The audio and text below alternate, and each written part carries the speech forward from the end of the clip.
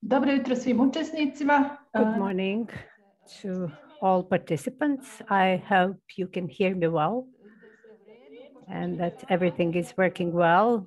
It's nine o'clock. Uh, let's not prolong the start. We have already 70 participants and uh, certainly we will have some more joining us later on. I'm very pleased to have the opportunity to open the second one out of uh, seven webinars which will take place within the, the process of development of uh, environmental strategy, ESAP, uh, organized by SEI and uh, the consortium Enova Cener, sponsored by the Swedish Embassy. As you may know, we are already in the process and uh, developing strategy. Among others, the strategy includes uh, the waste management. It is a great challenge for all of us. You may know that we have in seven groups, uh, seven working groups, uh, which are working uh, to develop this strategy using participatory approach and uh, involve uh, engagement of multiple stakeholders. This is a novelty in strategic planning processes in Bosnia and Herzegovina. The challenge is even higher because uh, this is the first time that Bosnia and Herzegovina will have a strategy which will bring us closer to EU membership. To this end, we also organized this uh, webinar, which uh, aims at presenting the experience of Estonia in approximation process and in the waste management and development of relevant strategies uh, rele relevant for their path. We will, my, my, I will moderate this uh, gathering together with my Draženko, uh, I'm Mirem Silajdžić. Uh, we are the leading expert uh, for the waste management in this process. Uh, I'm honored to present uh, Mr. Harry Muder, Moore and uh, Peter Eka, who will be presenters at today's workshop.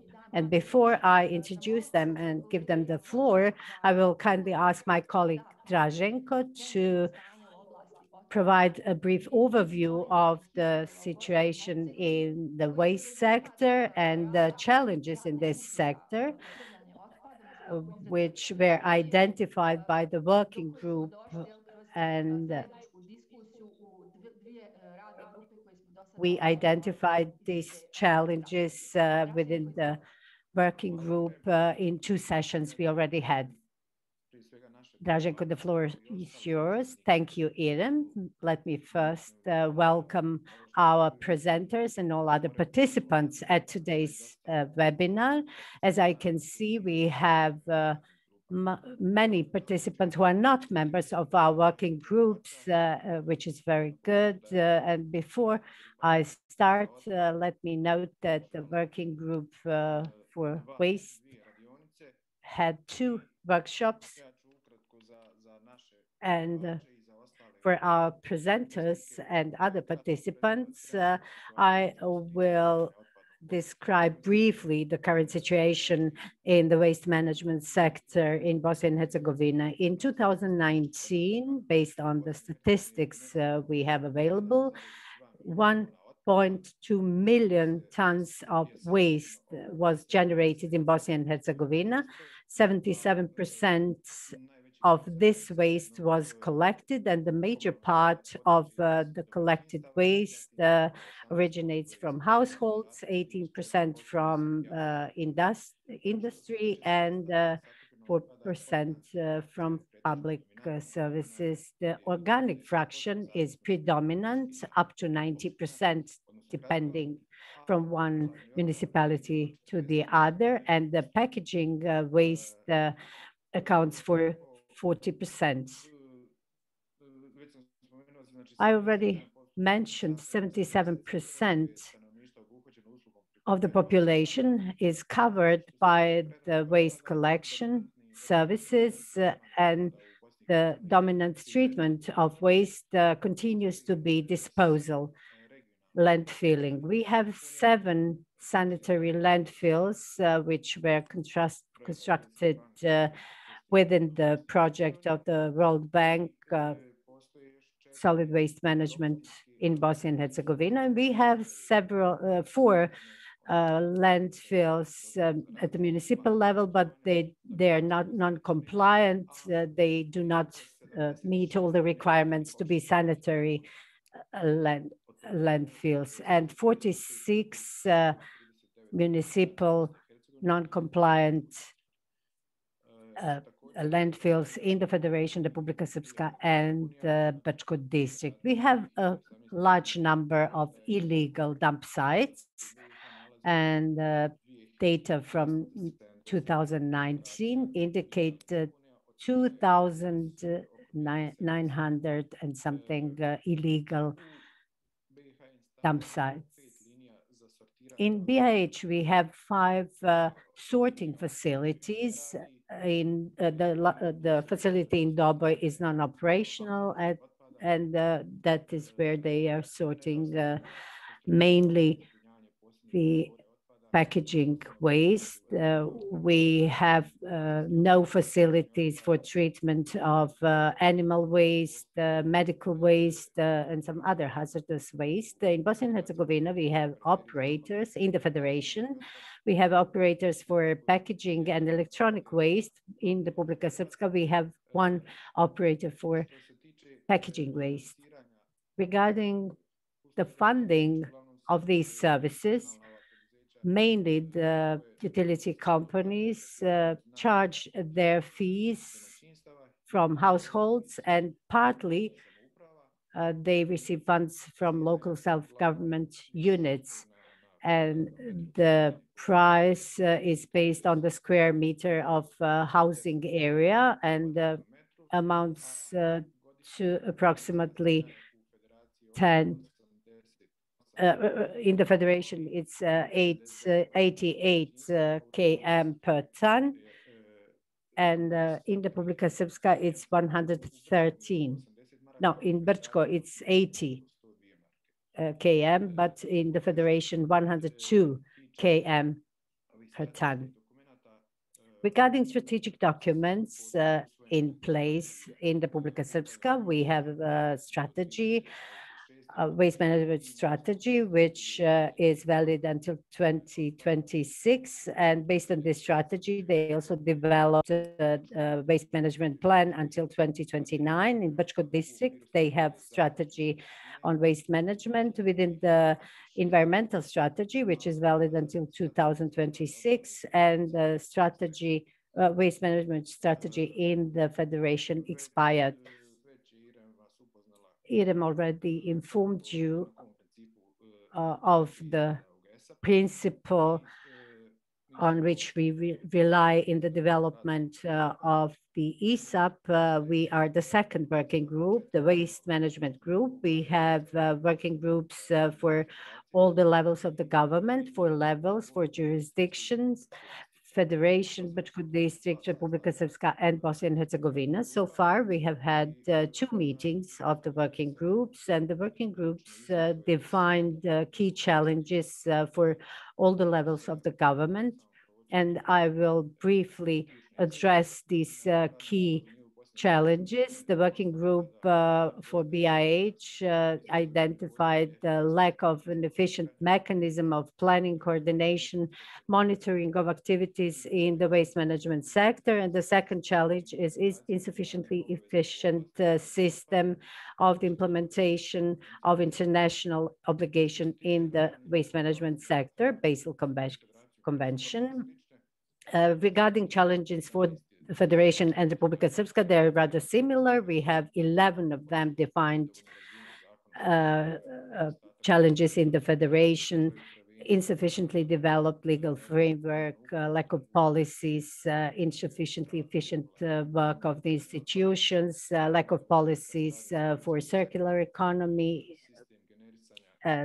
the system of generation, monitoring, and reporting is not in place, lack of funds for uh, adequate uh, waste management, uh, insufficient structure, insufficiently developed infrastructure for collection and disposal, uh, insufficiently developed awareness, public awareness, insufficiently developed system for uh, uh, extended producers' responsibility, uh, the uh, the issue of uh, treatment of special categories is not resolved. in Republika Srpska, we have similar challenges. the only difference is the non-implementation of measures for prevention of waste, that the, the measures have been defined, but they are not implemented and insufficiently developed system for management of hazardous waste and uh, unresolved uh, issues of uh, black points, so-called black points. Brčko district, uh, the working group uh, also defined seven key challenges, and uh, perhaps I should mention the lack of the system of expanded producers responsibility, extended the producers responsibility and uh, the uh, non-compliant local landfill. Very soon they uh, will uh, uh, th there will be arrangements for them to transport their waste uh, to another compliant landfill in Zvornik. That would be all from me at this point. I wish you successful work and uh, I invite all participants of today's webinar who are not members of the working groups to feel free to register for participation in any of the working groups. Uh, you can use the email addresses uh, which you see on the screen. That would be all from me now. Thank you, Draženko, and thank you very much for sticking to the time line. Uh, we will try to do so also. Now, uh, may I invite Mr. Harri Moora to make his first presentation and discuss the challenges and needs uh, for approximation with EU and uh, to share with us his experience uh, from Estonia. He's director of the uh, environmental program in Tallinn within the SEI. He is he has PhD uh, obtained at the technological faculty in Tallinn in the and he also has a, a PhD in from the university in Lund. Uh, his uh, main focus is circular economy and environmental protection in the light of EU policies. He has more than 20 years of experience, uh, both uh, at the national and international level on sustainable waste management and sustainable production and uh, consumption. Uh, you will later on also have an opportunity to meet Mr. Hari, who also was involved uh, in the approximation processes in Estonia. And to this and his experience and knowledge uh, he will seek to share with us are very relevant for us in terms of uh, opening uh, new perspectives and uh, providing new opportunities for Bosnia and Herzegovina for strategic planning. As I said at the beginning, this process is crucial for us uh, at this point, especially when EU is uh, imposing new requirements for Bosnia and Herzegovina. We are looking forward to hear their presentations. Mr. Harri, you have the floor. And, uh, good, good, morning also from my side. Um, it's really a pleasure to share uh, some of the experiences uh, from Estonian point of view. I think there are quite many interesting issues and lessons learned when it comes to the waste management uh, policy, European Union waste management policy implementation, because Estonia and uh, Bosnia and Herzegovina, we have quite many similarities. So basically, if we if you look back on our history, or let's say the political history, then this is also very similar. There are many other features which actually make our countries quite similar. And uh, when I was uh, hearing uh, Draženko's uh, presentation about the challenges and issues which are up there in your country and different regions, then I also recognize that there are quite many uh, similarities. And I think it would be maybe interesting to share some of our experience, experiences when it comes to the approximation and the implementation of EU waste legislation. Um, uh, before I jump into the waste management, and um, I will maybe still share some of the facts um, related to Estonia. Uh, I hope that you see my slides also in parallel. Uh, not yet. Uh, I don't see them, but uh, now now the screen uh, sharing has started, so you can. Start. Good.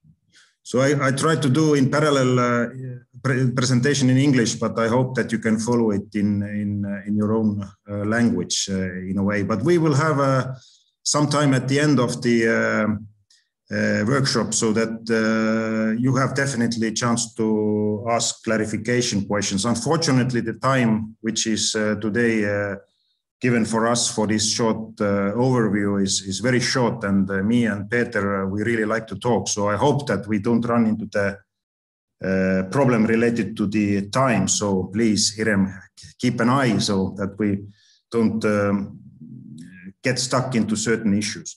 Yeah. But again, when it comes to uh, when it comes to Estonia, as I already said, there are many many similarities, and uh, Estonia is definitely one of the uh, smallest uh, European Union member states, uh, especially when it comes to the population.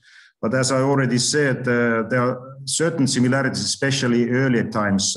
although being a small country, uh, we uh, used to have many uh, municipalities. So the country was split into small municipalities. And this is definitely an issue which I would say also could uh, cause certain, uh, let's say, challenges or even problems when it comes to the development of, of waste management system. And in this small country, we used to have more than 200 small municipalities. Today we have split it into almost half, or let's say there are approximately 80 municipalities, but still we clearly see a lack of cooperation and uh, and uh, this is one of the challenges and we will come to that uh, once again and Peter will cover a little bit better this area. But um, when it comes to the um, uh, economic uh, structure, then Estonia has shifted away from more industrial uh, uh, activities. So as you can see, uh, services are now sharing or taking the biggest share of, of the economic structure. And Estonia is quite well known from its IT uh, developments. But still, when it comes to industry, then uh, we have a specific industry. We have this industry is mainly related to uh, um, large scale resource utilization. And this is also a specific problem which has caused um, many, many challenges, especially when it comes to the waste management. Estonia joined the European Union 2004, and uh, we are today also part of the Eurozone. So next, please. Maybe just few uh, facts about the waste uh, generation and uh, waste uh, management. And uh, if you look on those figures, you might think that Estonia is really a giant of uh, waste, you know, basically generating more than more than 20 million tons of waste, which is basically 17 uh, tons uh, per person, uh, it sounds really crazy. So I think the European average is something like three tons of waste per person.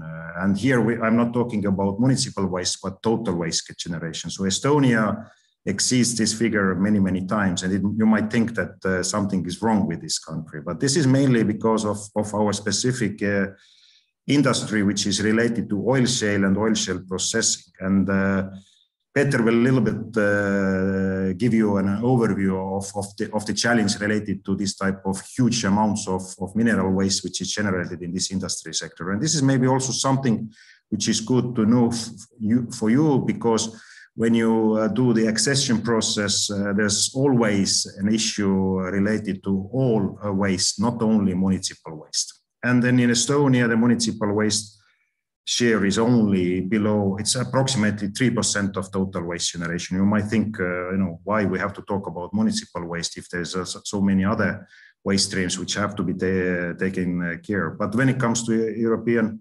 Union um, waste uh, policy and targets, then this is mainly based on uh, municipal waste. So the municipal waste is, is definitely an issue where there is also need to focus more. And uh, here we also can share some of the experiences because as you see, uh, officially uh, the recycling rate of municipal waste is only something close to 30% and you some of you maybe you know that uh, european union member states they had to uh, achieve 50% uh, of recycling of municipal waste by 2020 and here you can see estonia is definitely below of that and maybe some of you also know that uh, at the moment there are four official uh, ways to calculate the, uh, the share of waste recycling. Uh, this is still valid until 2025 and Estonia, we utilize the possibility to change the calculation method. And official figures are now below 50, but this is just a temporary game with, with figures. So this is this will be over by 2025. But uh, yeah, the real uh, recycling rate is uh, somewhere around 30%.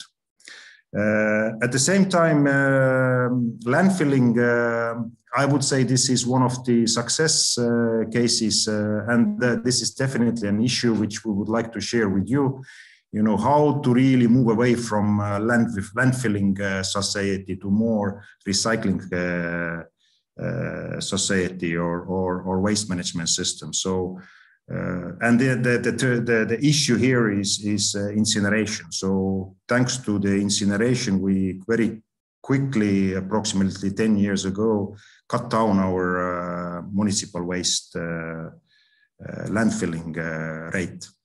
Okay, maybe this is enough about the background of Estonia because we will come to that anyway um, in next presentations. But um, maybe it's also worth to look into the recent developments on European Union uh, level because this is something which will uh, definitely will be will be something which influence uh, will be will influence both Estonian uh, developments concerning waste management, but this is also something you you also maybe have to take into account because um, this train is going very fast and in a way nowadays or today uh, european waste policy is, is, is uh, basically integrated into the much wider uh, scope of uh, circular economy. And if you take the next slide uh, then as you might know approximately one year ago european commission adopted the the new uh, circular economy action plan, which now, uh, as I already said, will have much wider focus. It's not anymore traditional waste management uh, alone, but it, it is much more now about the design of products, also really bringing in and trying to change our consumption habits. It is also about uh, focus on specific uh, areas. And uh, maybe it's worth to mention those areas also because this is uh, these are the priority areas where there will be specific uh, strategies and actions developed. Just to name them first of all of course plastic uh, this is uh, this is one of the uh, most I would say challenging areas. I will come back to that also soon, but also electronics and ICT uh, batteries and vehicles. This is because of the very fast development uh, in the uh, mobility sector, because there will be lots of new batteries available because of the electricity based mobility system development. Then specific areas related to, uh, again, our consumption habits, such as textiles, food, and then of course, construction and building materials and and this sector in, in itself because 50% uh, of the resources that we uh, consume every day they are related mainly on buildings and uh, construction activities. So these are the specific priority areas where there will be specific strategies and actions developed in coming years and there will be lots of new requirements and uh, also targets related to those uh, specific areas. Can you jump into the next slide, please? And this is just to illustrate that, uh, that the overall view in this circular economy new approach is not only uh, end of life or basically waste management. As you can see, the whole life cycle of products will be covered.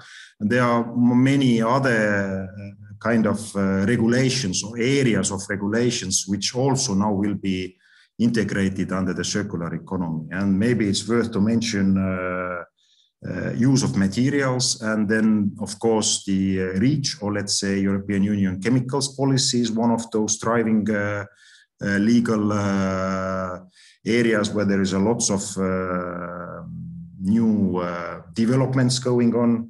Um, of course, design and uh, production. This is first of all related to specific uh, requirements on specific products. At the moment, the main focus has been on uh, products which consume electricity or energy.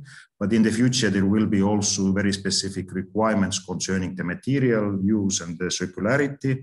And uh, what is a uh, specific focus area with, where there is definitely less attention put earlier, this is related to consumption and use. There will be uh, most probably also several uh, new uh, pieces of legislation, but also such issues like uh, eco-labels, uh, public uh, green uh, or procurement. and this is, these are the areas which should also contribute into the prevention of waste generation. So as you can see, the, tomorrow's waste related or let's say resource use and waste related uh, European Union regulatory uh, framework will be much wider than today's uh, waste management related uh, directives and regulations. So from that point of view, you can see that this is not only a task for for let's say environmental related authorities, but it should be much, much, much wider. Okay, let's jump to the next slide. And very briefly, you know, most of you already know that uh, still, uh, although uh, the focus will be wider under the circular economy framework, we still uh, see that uh, most of the targets uh, established by different European Union waste-related directives are still related to recycling. So there's a, a, heavy, or let's say, significant increase of, of recycling, which is required and just to name some of them, there is this gradual progress to 65% recycling uh, when it comes to uh, waste, municipal waste uh, by 2035. This is, I would say, one of the biggest challenges for some of the member states. And I would say also for Bosnia and Herzegovina, uh, I, I, think this recycling uh, related, uh, how to improve the recycling of municipal waste, this is definitely one of the challenges. And then the other issue, which is related to less uh, landfilling. So cutting down the landfilling and uh, by 2035, uh, the landfilling should be below 10% in each member state. And I would say this is also from the Bosnia and Herzegovina point of view, one of the most uh, urgent uh, or most uh, like a kind of priority area where there is a need to put more attention attention. And of course, in parallel with with packaging recycling, increasing targets for recycling of packaging, also challenging especially when it comes to the plastic as a material, as you see, the, the biggest jump in concerning the recycling requirements or targets is, targets is related to plastic packaging. This is a big challenge, really a challenge also here in Estonia, you know, really how to ensure um, uh, higher or let's say more recycling when it comes to this very difficult uh, material or waste stream, which is the plastics. Uh, also some other um, areas, uh, or let's say packaging materials, I would like to mention maybe glass as such. Uh, in Estonia, this is definitely a challenge because it's mainly related to uh, consumption uh, in uh, households and, and more in general sales packaging. It's very difficult to, to collect glass in, in a way in bulk and also it's quite costly mm, to collect it. And there will be also new developments when it comes to the calculation on how to calculate and really report to the European Commission when it comes to recycling targets. This is something where there is a real mess at the moment in the European Union.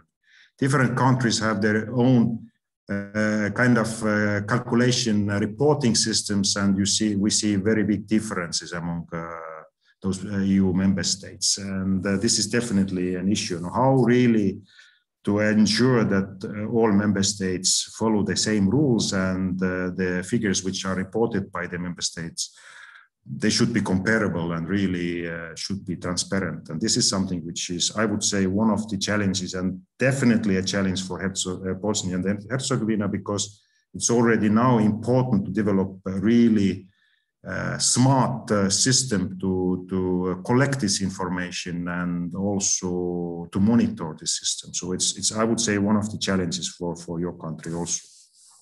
Let's jump to the next uh, slide. You mentioned that uh, we are out of time, so please uh, try to wrap up. Yeah, very, very briefly, just to indicate some of the issues which are very very important. and one of those, as I said, it's related to the plastics a specific plastic strategy under the circular economy action plan. You can see there's a lots of uh, challenging uh, requirements, especially when it comes to single-use plastic. There's many types of uh, plastic-related products which uh, will be banned. and when it comes to plastic bottles, you see the specific targets which have to be achieved uh, by uh, the end of this decade. We can see that this high level of recycling of plastic bottles uh, can be achieved uh, via only, I would say, the deposit system, uh, which we also would like to a little bit discuss with you and show you the, the examples of Estonia. I would say one of the biggest success cases, uh, the deposit system for beverage packaging. And if we quickly jump on, then um, I'm not going to you know go in details when it comes to new uh, next uh, targets uh, and issues which are on the table. But just to mention some of them bio-waste collection which will be uh, mandatory by 2030 2023 it's important because if you would like to achieve the recycling target of the municipal waste then it's not enough to collect packaging waste packaging waste is only one third of the uh, municipal waste stream. The, the other one third is, is formed by the bio waste. So really you should already start to think, you know, how to collect the bio waste, food waste, you know, how to ensure the recycling of this waste stream. And then, of course, to indicate the textile waste, which is also not so big uh, stream uh, in the municipal waste. I would say it is somewhere around 5%, but still you can see that there will be requirements to organize a separate collection of this type of waste streams also.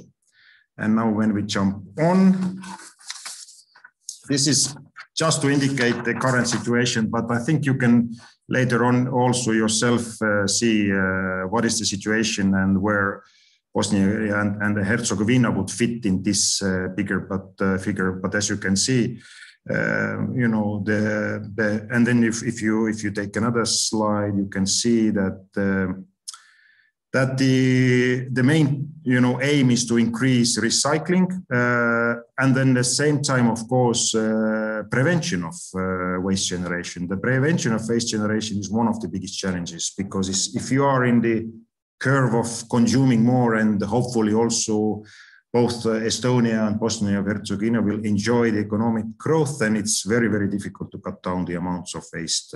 And if you jump another slide, just to show you again the, the picture here, know, as you can see, it's the big variety when it comes to different member states uh, concerning the recycling, uh, landfilling. So it's really uh, big difference uh, here. And uh, that's why uh, this also a little bit illustrates the different approaches and strategies on how these different countries have tried to solve the or reach the EU waste policy targets.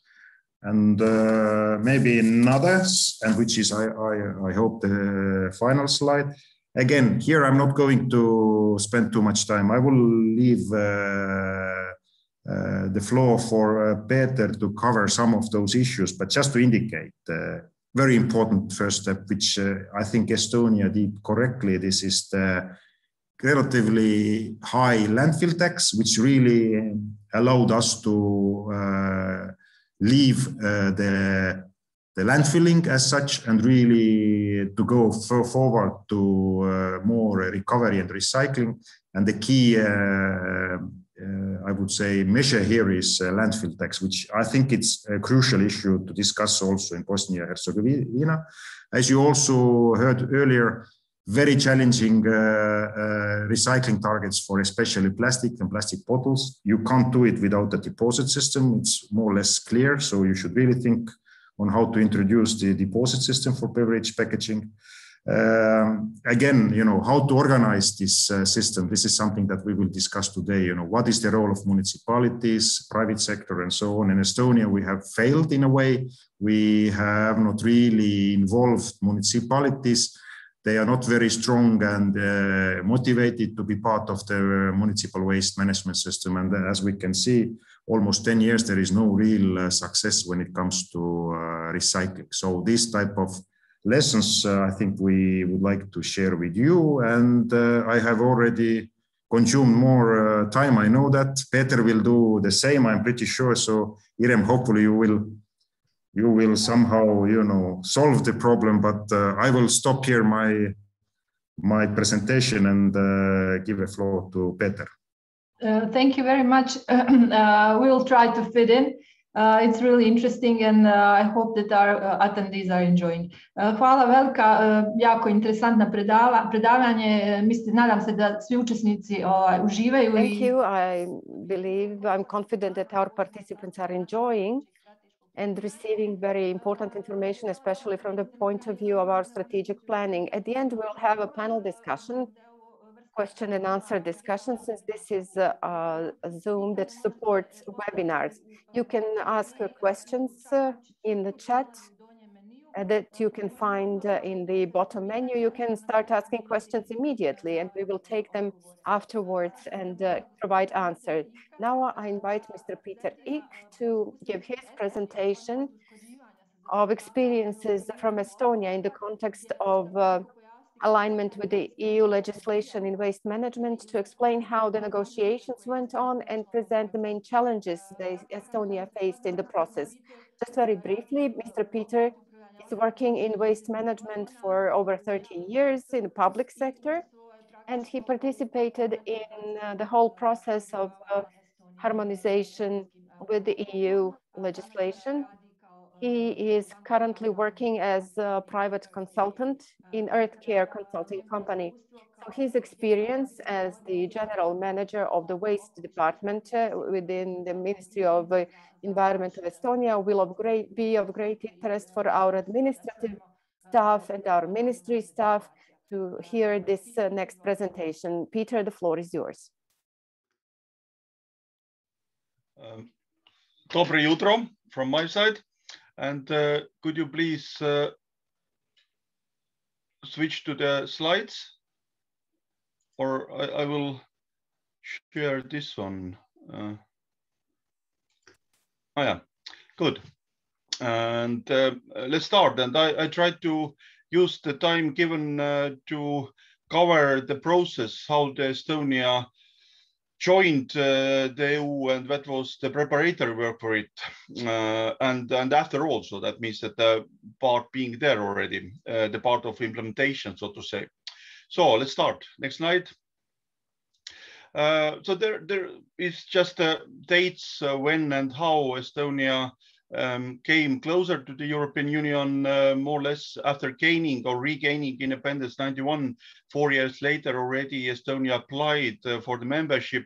97 uh, European Commission uh, decided to start negotiations and uh, actually they, they were started um, 98 and uh, the full package of the negotiations, not only the environmental issues, all, all EU. Uh, that lasted four years and eight months, so it's a pretty long period anyway. And uh, yeah, well, it ended uh, that uh, we uh, joined to EU 2004 with the nine other Eastern uh, European countries. Next slide, please. Um, next slide. This is a title just. And uh, now just looking back uh, how it all uh, developed, that uh, there was already first uh, waste law in 1992. That was even, let's say that nobody didn't even even perhaps um, dream very much yet about this uh, uh, European Union. It was so far. And on this very time, the economy collapsed and the living standard was very low and average salary was something like 50 euro per, per person. And, and everybody remembers this time and uh, me personally too. It was uh, difficult times anyway. But even then, actually, a certain foundation to the waste management was laid and with this law, for example, the waste permit system and waste reporting system and such things were put in place. And already in the mid 90s, uh, economy started to develop and uh, things got better. And, uh, and of course, this European Union uh, wasn't really just a dream, but something already on the screen uh, visible uh, when the negotiations started. And this very time, more or less, we had yet uh, uh, permitted already, I, I, will emphasize here, permitted uh, dumping sites um, uh, up to 250 around. And there is just one picture that uh, very often such countryside um, uh, dumping sites, uh, there was no control. And uh, obviously, if, the, if, there was no control, it was absolutely free of charge. and that was rather terrible, really situation where to come out, more or less. Next slide. Um, and uh, yeah, as I said, that uh, 97 uh, negotiations started and uh, 2001. And during this, namely the period of the our negotiations, there was um, adopted the EU Landfill Directive 99 and Estonia transposed this uh, Landfill Directive uh, 2001, uh, more or less at the time when we really finished the negotiations. And that was rather, I would say, even a breaking point of this old style or old model in the waste management. And um, principally, here is a picture how it showed even a couple of years later, where Tallinn, the biggest landfill, uh, municipal waste landfill in Estonia, the ditch around the landfill looked. This is more or less the leached water with any kind of litter. Pretty nasty picture was it uh, indeed. But uh, speaking about this 2001, when this uh, landfill uh, regulation was issued in Estonia, transposing the landfill directive. Uh, there was for the all existing landfills were a couple of very simple rules or requirements. And uh, principally up to the end of the 2001, that means rather relatively short time, half a year, was required that um, every such a small landfill uh, will install a weight bridge, uh, have to install the mm, uh, fence around and uh, should guarantee the uh, working hours uh, control. That means that uh, somebody worker there controlling what is bought and so on. And uh, the regulation didn't say anything particular when this or this landfill should be closed, but just giving the option that whether you will uh, make those investments owners of the landfills or it should be closed.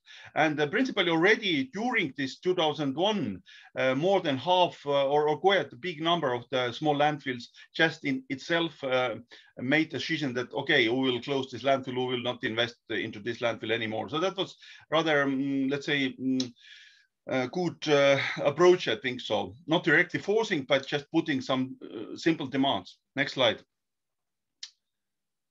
Uh, well, and uh, then uh, 1991, uh, that is about uh, packages, uh, came already the first Packaging Act, uh, just to remind that uh, 94 there was issued uh, EU Packaging Directive. Although this act, if you look now, it was perhaps a little bit simple and didn't emphasize yet very clearly this uh, extended producer responsibility and so on. But but some basics already were there. And in 1996, uh, um, uh, the support, so to say, to the Packaging uh, Act itself uh, was packaging excise duty. We, we could call it simply also packaging tax. But uh, the idea there is, I think in many countries, it's the same approach, um, although in different names might be that uh, uh, there are defined uh, the recycling and recovery targets. And now, um, let's say on the level of the single companies or whether it goes uh, through the, and most it goes through the packaging organizations, there are then summarized um, uh, targets. And if the targets are fulfilled, then there is no tax. But if there is um, under uh, achievement of the targets, then the gap between the target and the achieved level will be taxed. And the tax is, in this case, um, let's say much higher. In our case, it is approximately four times higher than would be the average uh, price uh, to be paid uh, for the waste management sector uh, to achieve uh, the target, so to say. And this have been definitely very, very important um, economic measure uh, to motivate the packaging collection and recycling. Next slide. Um, well, and um, uh, about uh, institutional development, I would say in the 1990s, as uh, already also described, that uh, we had from one side uh, big number of the small municipalities, which was a problem. And although there was made also uh, attempts to uh, push through the administrative reform and reduce the number of the municipalities, uh, that ended up finally only 2017. It took mostly 2020 years. That was strange, but uh, true. Uh, but on this very 90s, uh, mostly in the beginning at least, most of the municipalities or, or the bigger municipalities, they had their own municipal um, waste companies and they started to uh, privatize them. There was the full, I mean, 90s was uh, privatization. Everything state owned, municipal owned mostly was privatized and also waste management. And it is later to say perhaps it was even privatized a bit, a little bit too much. But anyway, uh, such a collection sector somewhere in the early 2000s already was more or less fully in the private hands. Um, and uh, later on, especially when was started to establish uh, new regional landfills, then was uh, one uh, reason to bring the municipalities back to the waste management because the rules of the financing didn't really definitely allow to give a big financial support to the private companies, but to the public companies. And so uh, the first approach uh, with the new landfills or waste management sector centers uh, was uh, namely that those were the municipal companies then established. Um, and uh, yeah, well, and uh, as I said, that this uh, 1999 came the directive of the landfills, landfill directive, and that changed the whole waste management basically. next slide, please.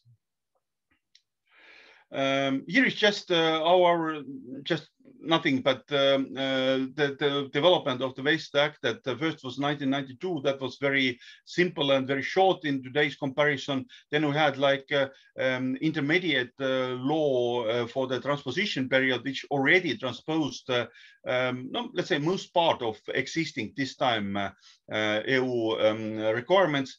But for the 2004, it came force exactly on the same day when Estonia became a member state. there came to force the new uh, Waste Act, Food Act, also Packaging Act principally separately. And uh, this already then implemented uh, the, all the newer directives which were issued there, for example, the 2000 end of life vehicles, 2002 waste electric electronic um, uh, directive and so on. So it means that this uh, extended producer responsibility um, uh, in more broader um, sense than only packages. next slide. Um, yeah, uh, well, and um, just shortly to describe that uh, how uh, the process uh, uh, went um, um, of this uh, negotiations and preparations, and this is definitely a very serious issue in all countries which have been, which have had those negotiations being candidate country first. And um, clearly, it starts from the very detailed homework that is absolutely required. And um, although that was for us, it was already 20 years ago, and the situation is very different uh, if you look at which directives uh, EU law existed this time and where it have uh, developed today and the package is uh, much much more challenging that's for sure. But uh, the principle uh, have remained um, most likely at least. That means that uh, there is going on the sieving uh, by each directive. And uh, that means that every candidate country have to make a special file what is really already implemented um, concerning this directive, what remains to be um, transposed um, in the sense of the legislation, but then it comes definitely to the implementation.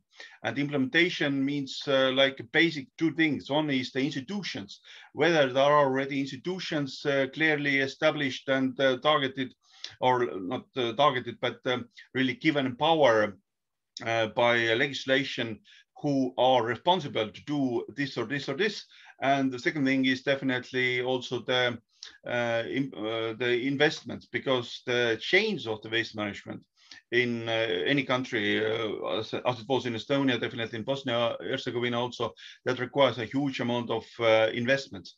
And in a short time, it is not possible to cover those investments with a very basic idea that is in the waste management, that is the producer pays in the long run, the producer pays uh, have to cover the cost, but in a short run, uh, during those changes, that's not possible. And uh, usually, and I think that it will be a case also for Bosnia Herzegovina, uh, that the EU funds will be made available and that will help a lot of. But regardless of that, there should be always local um, uh, local financial instruments which will support it, definitely. Next slide. Um, so, and yeah, this is uh, uh, already uh, about negotiations and um, uh, implementation period. And in our case, uh, in the 90s, we had pretty much of uh, support, um, both, let's say, like a knowledge side and also investment side from the Denmark, because the Scandinavian countries here um, were very, very visible in the, in the Baltic region, especially.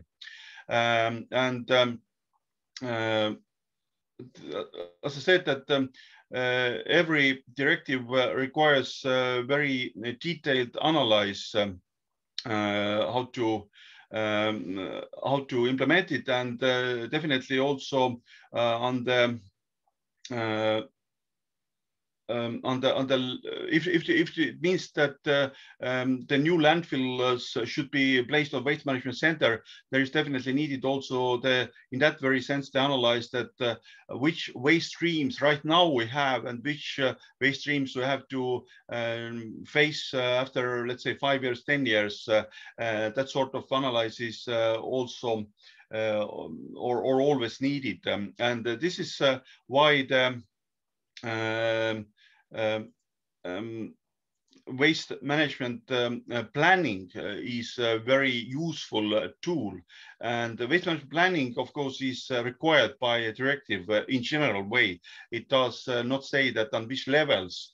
It says that whether in national level or in regional level, this is up to every member state or candidate country to decide. in in Estonia, that was done at the beginning, even on the three levels, to try to make uh, on the national level, then on the county or regional level, and then on the municipal level. Uh, later on, the um, county level is uh, really left out, and but still there is a national waste management plan, and uh, and also required uh, that the municipalities will uh, have to prepare their own um, plans. next slide. Peter, just to just to uh, jump in and say that we uh, are out of time. I see you have 20 slides more, but just to let you know that uh, you kind of should uh, wrap up. Yeah, and I, I, will here bring up just one very important uh, point um, uh, Harri already referred to, and that this is nothing um, really to take very exactly the example. That is our case with our uh, issue. But uh, what I want to emphasize uh, is that um, uh, going to those negotiations, preparing to those negotiations, it's definitely clear to um, uh, to find out and uh, to make clear what is uh, the absolute um, priority uh, for, uh, for example, for the Bosnia Herzegovina, and uh, then to try to use definitely a rather limited space for exemptions. uh, for those uh, high priority areas.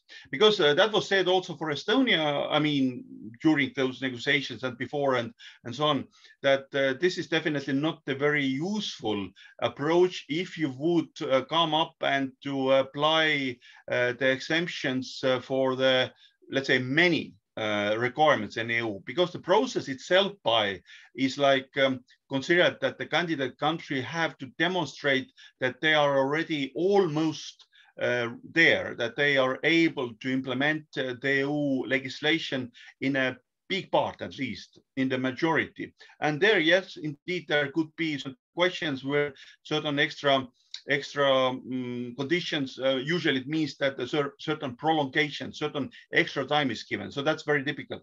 And if I just compare our so southern neighbors, Latvia, Lithuania, other Eastern European countries, many of them applied uh, the extra time for the implementation of the landfill directive, how long the old landfills uh, could be used and so on and so on. In our case, this is just to say that uh, there was consideration that energy sector is the highest priority and we have to cover the energy sector needs and uh, this uh, extra exemptions were asked only for the energy sector. That means that all other terms also in, uh, in the landfill directive uh, were applied exactly as was given in the directive. All other in the extended producer responsibility were applied exactly as was required in the, in the directive. And this is perhaps uh, um, to say that um, uh, th this is a serious issue and uh, also for the Bosnia and Herzegovina would be uh, very important to figure out which issues are the utmost importance and not to and uh, let's say priorities one two three not more. And and others should somehow be taken that we have to implement them uh, as they are and uh, we have to work hard if needed. So this is perhaps from my side with this intervention right now yeah, this is just a picture how it looked our uh, oil shale um, uh, power stations, landfills. And this is uh, in this very time it was, but that's just the history already today, definitely, that it was uh, like considered that this is not in line with the landfill directive uh, to pump uh, the ash to the landfill with the water mixture and uh, there was like a consideration that that should be ended 2009 but later on although they did put really a lot of money into this in the research there was not found any workable solution and and was agreed again with the european commission that uh, this um, pumping with uh, water mixture where where water is uh, finally considered as a transport uh, carrier of the, of the ash and ash is itself not the liquid. that is, the, let's say, the more or less a consideration, interpretation of the directive.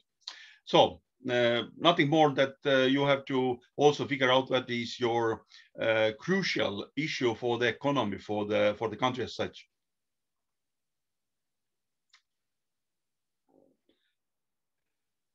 Yeah, and uh, there is perhaps um, um, to say yet that uh, uh, beside uh, of the of the let's say average municipal waste, there is those waste streams which are covered already by EU with the extended producer responsibility, waste electric, electronic uh, batteries, uh, then uh, all packaged material and so on.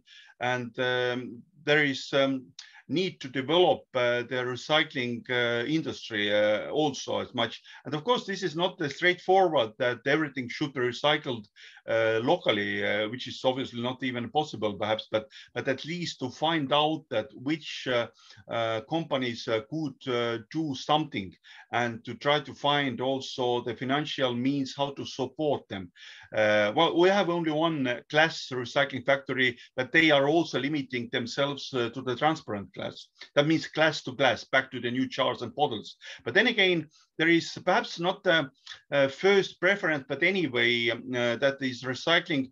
Uh, some companies are producing pavement stones, uh, putting the glass cullets, fine glass cullets to the to the concrete, for example. So this is more or less uh, simple uh, or much simpler um, industrial process.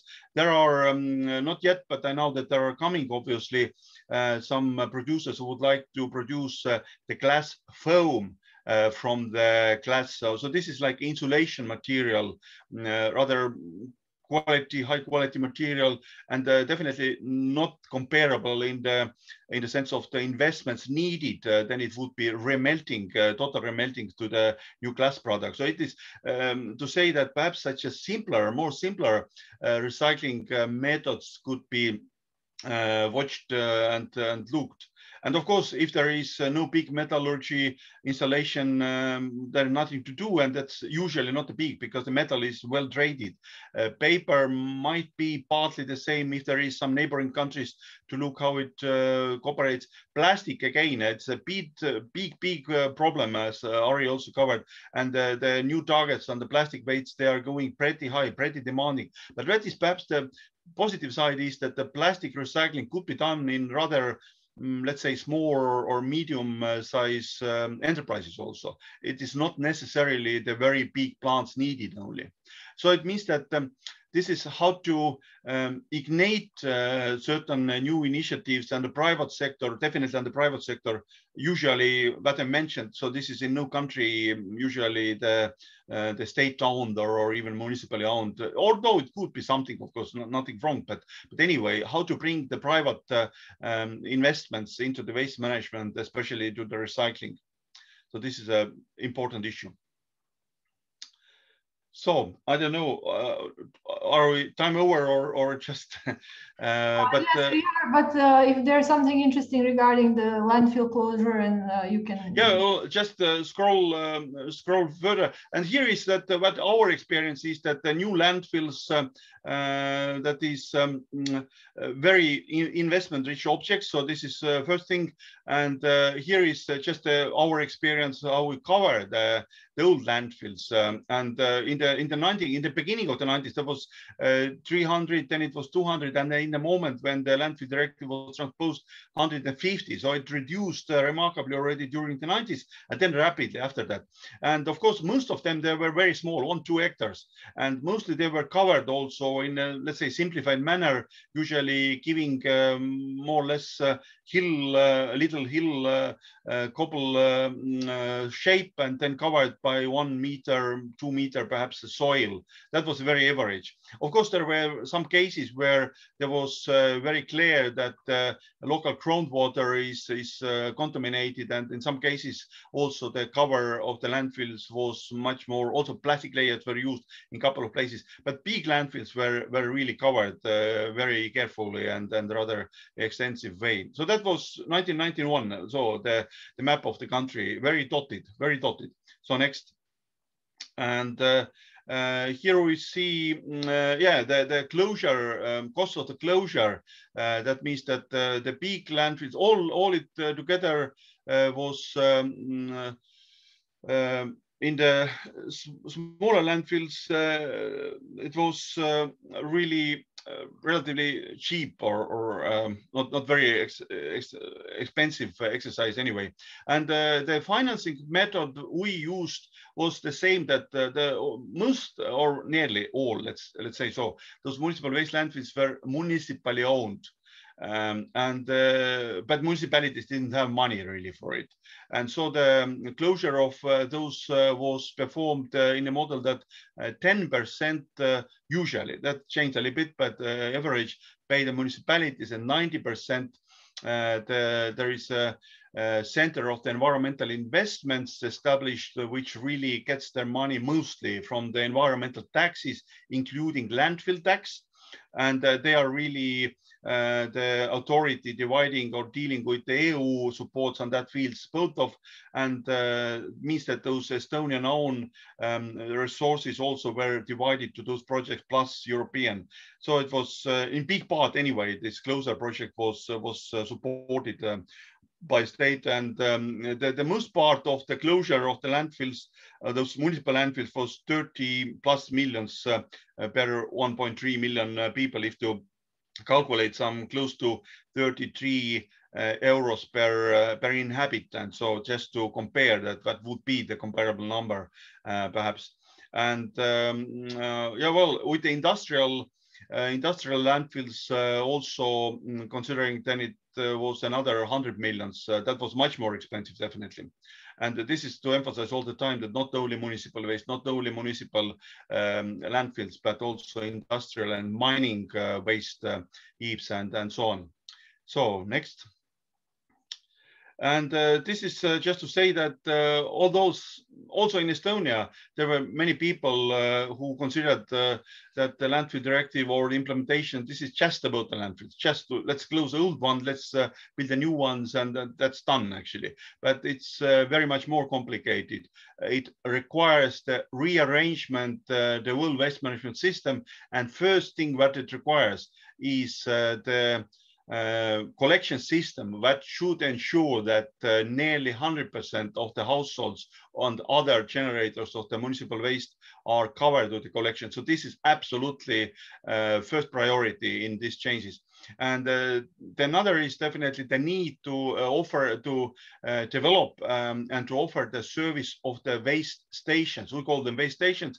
In the British English, they call them usually civic amenity sites or recycling yards. So they have many names, but the idea is the same. So let's move next.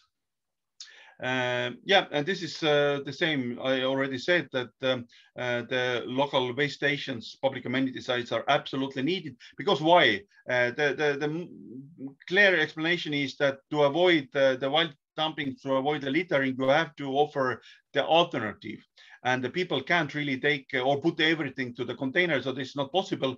And secondly, uh, this is also needed for the recycling. You have to uh, collect certain types of the waste uh, also for the recycling, and here are those uh, civic amenity site recycling yards, very, very useful object. And this is a network. It takes time to develop them. We have in Estonia, I think, roughly 100 of uh, waste stations today. Uh, so it means that in bigger cities, um, four or five, uh, at least several. And uh, in most of the municipalities, uh, one or, or in smaller municipalities, still they have one for, for certain region actually. And uh, this is an issue in that very sense that um, this is also investment. Uh, the average waste station have been with the price tag, let's say close to 200 to 300,000 euro and yet it is also operational cost uh, related. So usually something around 20 to 30,000 euro per year is also operational cost. And uh, in both cases, uh, there should be um, decided that where it comes. And the investment, again, in Estonia, big part from the state, but the operational cost, uh, this is uh, up to the municipalities. So uh, next if, if there is time, but if not, yeah, this is just a picture how the biggest um, municipal waste landfills near Tallinn uh, looked uh, after the closure. Uh, and there in the corner, in the right corner, you may see that this is uh, today operating one of the Tallinn city uh, civic amenity sites. So this area is in a way uh, still in use. next. And so this is exactly what I said, uh, perhaps this about uh, uh, civic amenity sites um, and the need to join the households to the collection. And in 2001, that means that more or less yet in the middle of the negotiations, there was made a study and that showed that 79% of the households were joined to the system means 21% of population was outside of um, collection system. Nobody knew where they were, did put their waste and uh, some years later, or 2012, it was uh, considered 95. So it means that it's uh, 100 is perhaps even not easily achievable. Although there are countries like Denmark uh, where there is uh, principally impossible to be outside. If there is uh, property where there is a living rooms, that is already counted to the waste management system and you are charged. Whether you are living there or not living, that's not the problem. So next, uh, this is a new, uh, the small map is showing where the new landfills um, are, are standing and uh, five of them and uh, perhaps uh, uh, that in the long run, this might be over investment. We don't need them perhaps too much, but uh, if I compare again uh, our southern neighbors, I think that they did uh, um, invest uh, more to the landfills and also our investments took place in a, in a bigger share. Although I agree that also in Estonia there was. And the one ex uh, example that the picture is that also in, not in all, but in uh, a couple, I think, new landfills also EU funds were used. other were also Estonian own financing resources. Um, next. And so this is just industrial landfills. Next slide. Um, that was one uh, industrial uh, landfill, uh, rather difficult really to close because there was some thermal processes. Yes, next slide. tar lakes, uh, nasty, nasty heritage, so to say. Uh, next slide. And so this is on uh, on industrial waste, hazardous waste, also landfill after the closure, cover with um, with uh, limestone and uh, and some plantation were put there, and it looks much nicer today. Next slide. And so this is one of the industrial landfills, big ones, really big ones. you can see perhaps on the picture. Next next slide.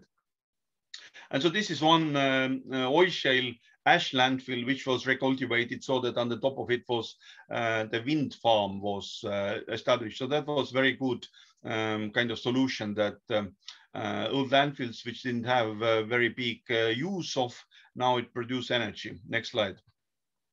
So, but I think that the time is over, so I will stop here or. Uh, yes, uh, thank you.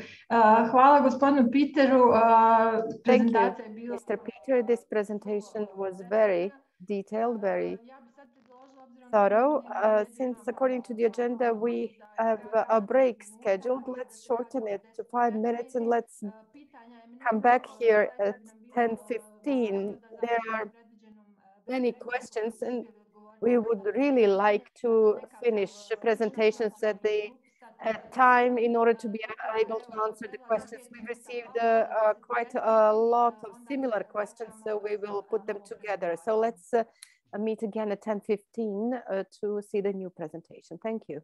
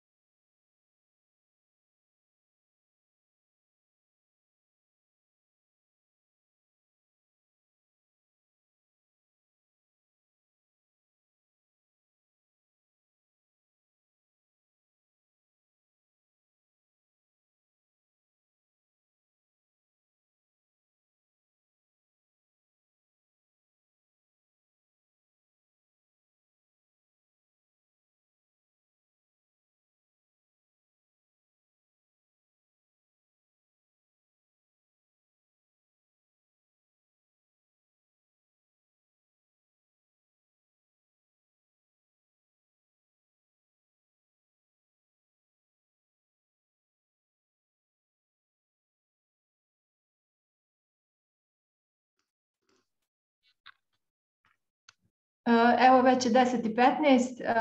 Nadam se da... It is already 10.15. I hope you are all back, that we can continue.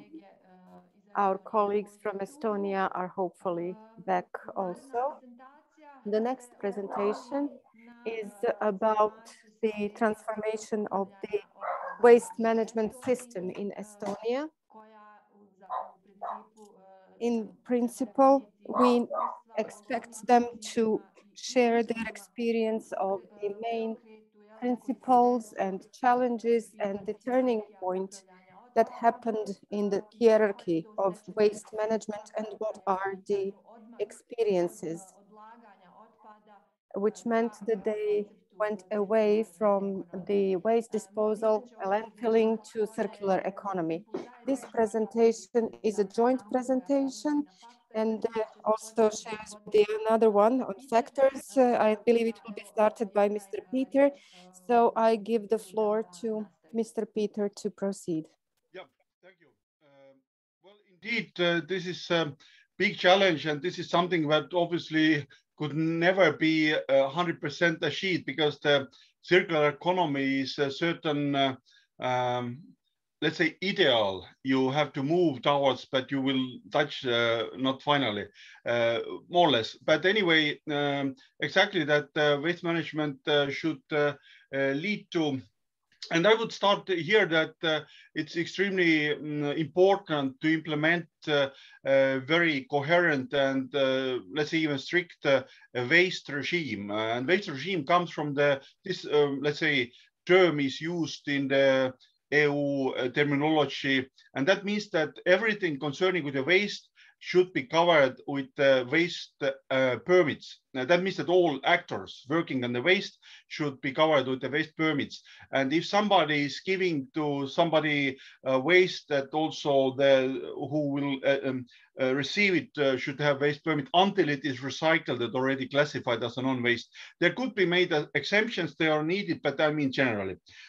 And secondly, that means that um, everything that is done with the waste, every process should be really foreseen in the permits, uh, starting from the definitely landfilling, but later on uh, whether somebody is storaging waste, somebody is sorting, somebody is really treating it, uh, somebody is recycling. That is all uh, waste. Um, uh, waste treatment that's important second thing what i definitely would like to emphasize also is important to implement uh, as uh, in detail as possible the waste um, uh, list, European waste list. I mean, generally everybody knows that that's uh, like a simple thing, but but uh, there is a tendency that uh, in many countries it is used in a very simple and perhaps oversimplified way. That means that a small number of the waste codes are used and many other waste streams which actually occur, which are generated, they are put to whether municipal waste, whether I don't know, in construction demolition waste very often, and there is only one code used for the construction demolition waste instead of using steel and concrete or uh, um, uh, tiles and concrete and uh, wood and uh, whatever other material based. So the, this uh, comes really from the uh, from the waste collection. That means that the waste collection companies, whoever is uh, offering this service, uh, they have to be uh, careful uh, or, or, intended really to this issue. Why it is needed? It is first of all to understand that what is actually collected and where it all goes. Uh, and uh, it is very difficult to plan uh, certain changes and new installations and so on and so on if everything is put to the one pot, so to say, with a couple of small number of them of the codes. So just Estonian example is that uh, the European list contains 850 roughly, and we have in the waste uh, report some 450 uh, code. So more or less, but uh, but also sometimes we have uh, another problem that uh, there, there are codes, but uh, they're still uh, described with with wrong codes than with the very general codes and so on. And definitely the same goes for the R&D codes. That means that recovery, including recycling and disposal. And um, of course, if the recycling is not very developed, then more or less everything is, is the disposal codes. But especially as uh, recycling and recovery uh, will um, uh, develop and that should be developed, then which codes are used and what is exactly the recycling, what is other forms of re recovery. This comes with much more um, um, important um, uh, level as it is perhaps today, just to consider. So next slide, perhaps. And yeah, well, one is what I just uh, here wanted to say is that I think it's very useful. It's not required exactly, but it's uh, been very useful in Estonia. We have done it roughly after five, six years.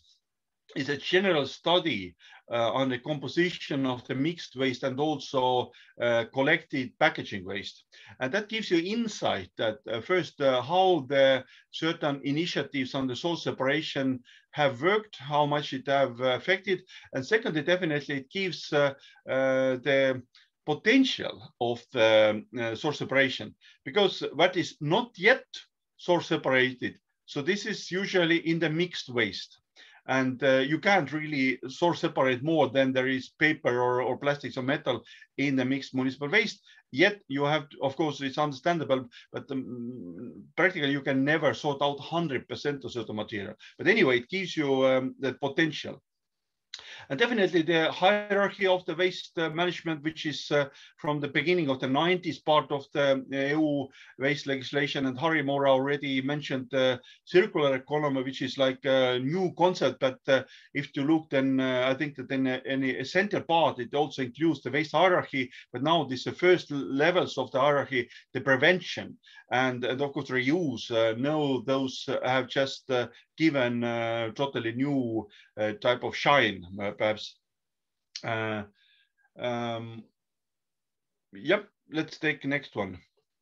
And uh, mm, here is uh, uh, mentioned that uh, the mm, uh, extended producer responsibility as a concept included in the EU legislation is, is definitely challenging from one side, but also very important to solve certain environmental problems. And um, uh, that's of course uh, perhaps interesting that somewhere in the early 2000s there was uh, kind of very positive mood and expectation that there are gonna be much more uh, waste streams, material streams covered with EPR extended producer responsibility on the EU level. But just after the 2006 battery directive, um, uh, no new such directives have been issued. Of course, we can here say that this uh, reduction of the certain plastic um, uh, one-way plastic items or this uh, single-use plastic directive also implements uh, uh the extended producer responsibility to the very, um, let's say, narrow targeted uh, area of the plastic products, including the uh, cigarette filters, for example.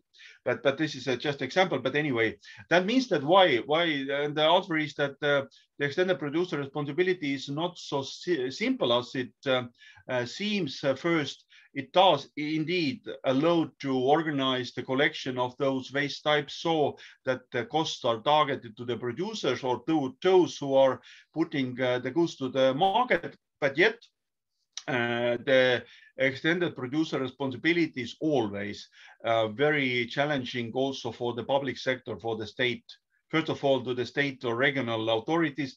Uh, that means that you um, should have there uh, the good uh, registers. You should register both producers and the products.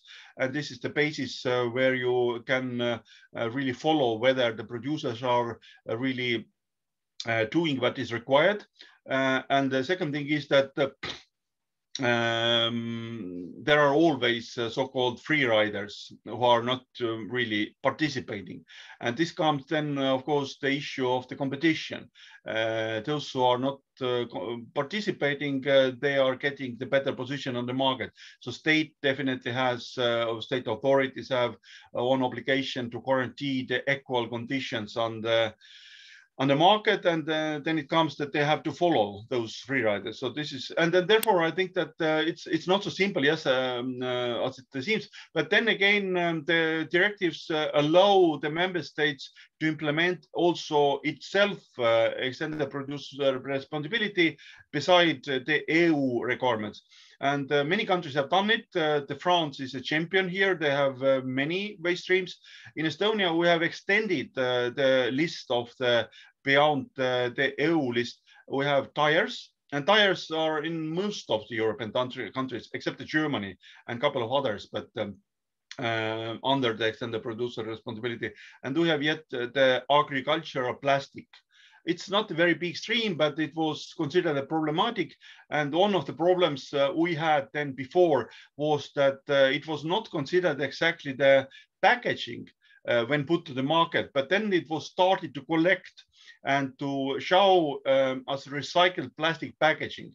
So it was, uh, let's say, really blurring uh, the packaging uh, recycling um, uh, report. And uh, well, one way to avoid it is to say that there are extra rules, and that works on the same. so next slide. Um, and uh, here we have uh, the waste uh, national waste management plans. Um, and as I mentioned that this requirement comes from the EU directive and we have done them which are matching the EU financing period so far at least. And um, in some other countries, uh, these have been not considered uh, the big issue, and those such uh, plans have been made up to 10 years or something like different periods anyway. Uh, and uh, the first national waste management plan was uh, perhaps important in that very sense that in the middle of this period, Estonia joined EU. So that was mostly dealing with the landfill issue, where to build, how many to build, how to uh, cover old ones, uh, what it costs, how to finance, and so on and such things. Not exactly, definitely, there were all other issues also, but that was so, sort of uh, the, the first issue, big issue. The second um, waste management plan already dealt the issue that how to divert um, the waste away from the landfills. Uh, there was a big discussion and analyze like uh, uh, where to uh, how much uh, MBT for the mixed municipal waste or incineration and so on, those comparisons. Um, and um, uh, the last one, which was uh, now they are really working with a new one. There is actually right now is uh, legally speaking a gap. There is uh, no valid uh, waste management plan. Uh, but this third plan was really trying to target towards the source separation and um, and recycling it is definitely not to say uh, that only only those issues, but uh, uh, something above of others, perhaps that way.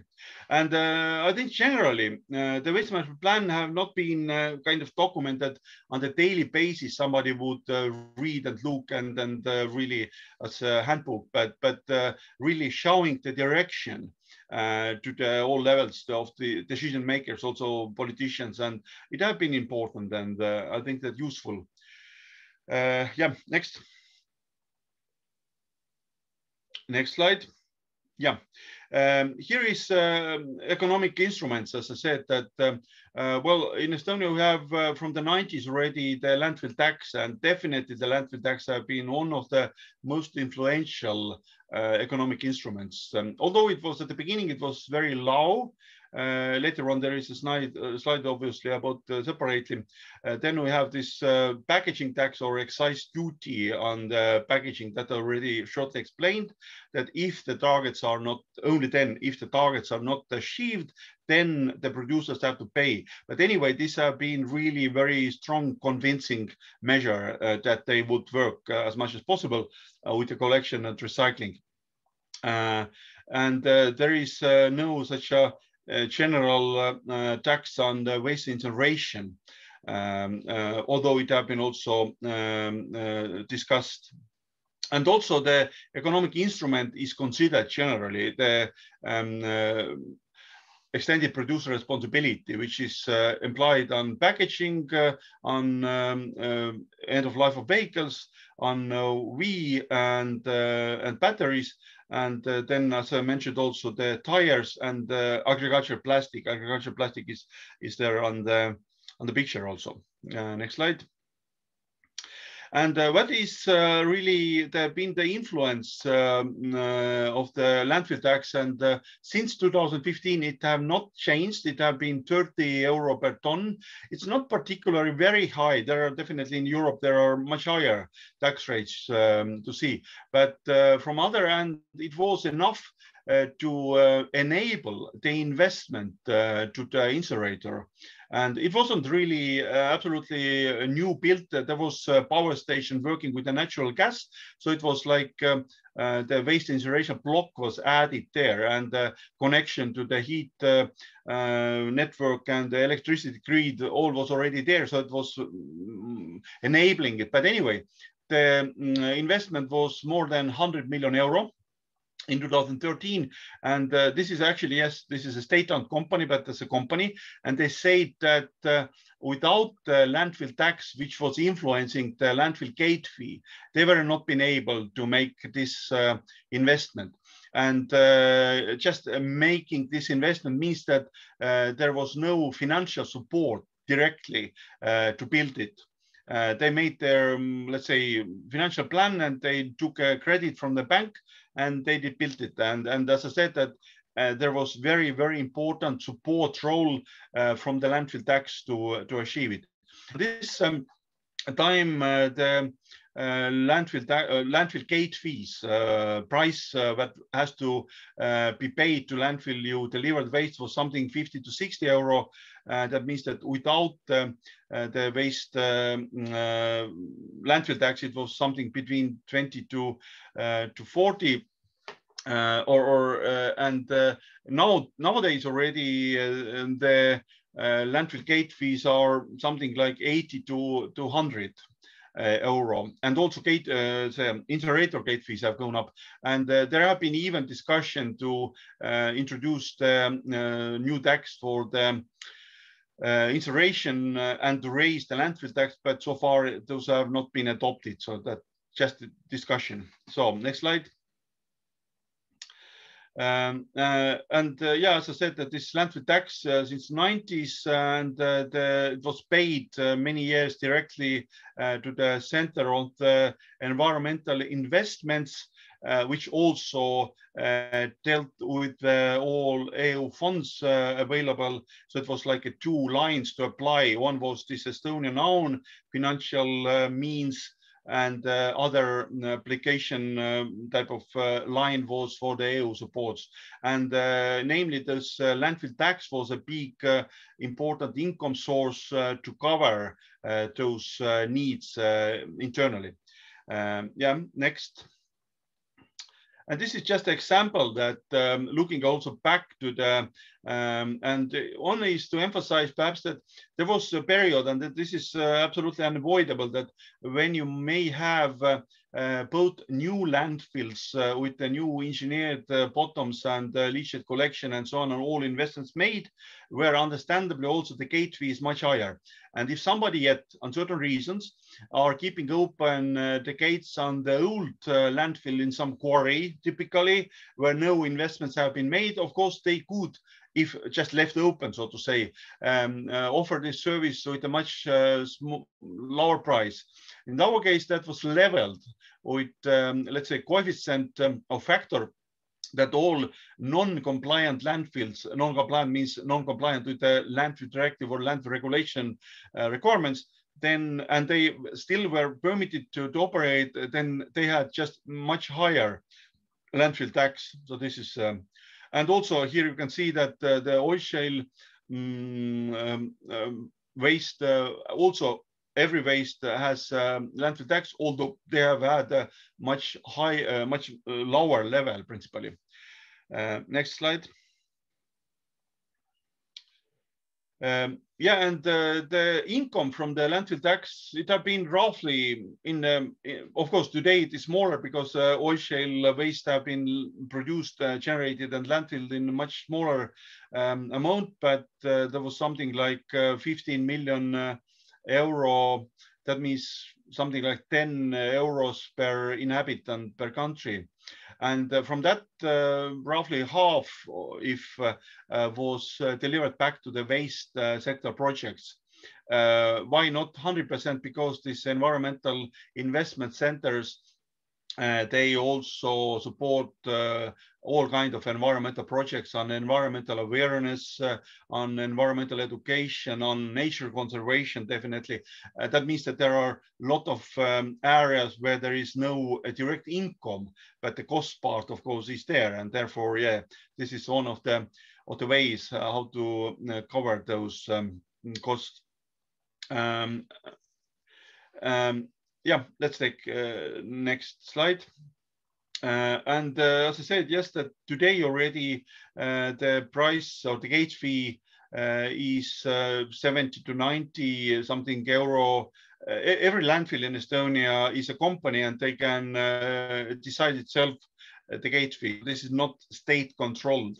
And um, there are today, um, some of them are municipal companies or municipally owned companies, yeah, and some are private companies. And, and but in all uh, those cases, uh, the companies are itself in position to decide what is the gate fee uh, they receive the waste. And as I said, that this gate fee always includes this uh, landfill tax, 30 euro per ton. But somewhere in the 2001, uh, when the landfill regulation was established, then it was maximum 10 euro uh, per ton. And uh, there is uh, clearly, mm, again, to, uh, to emphasize that the landfill gate fee is always the benchmark in the waste management sector, where with which all other possible costs are, are compared. And if the landfill gate fee is kept relatively low, then it simply doesn't really allow uh, to come and to invest to the alternatives uh, to the disposal of the landfilling. Would it be MBT? Would it be incineration? Would it be definitely recycling?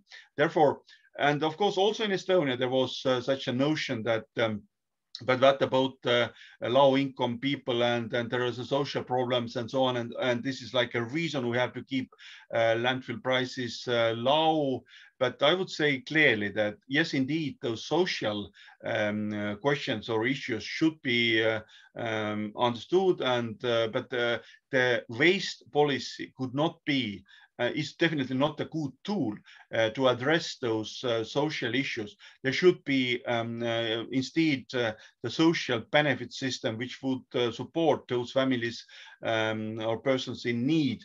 And also in Estonia, we have had, and still I think even have uh, uh, the social, uh, well, you have your living room costs. And if your uh, income is lower below a certain uh, level, then you can apply for the social uh, benefits uh, to uh, support your or to cover your living room costs.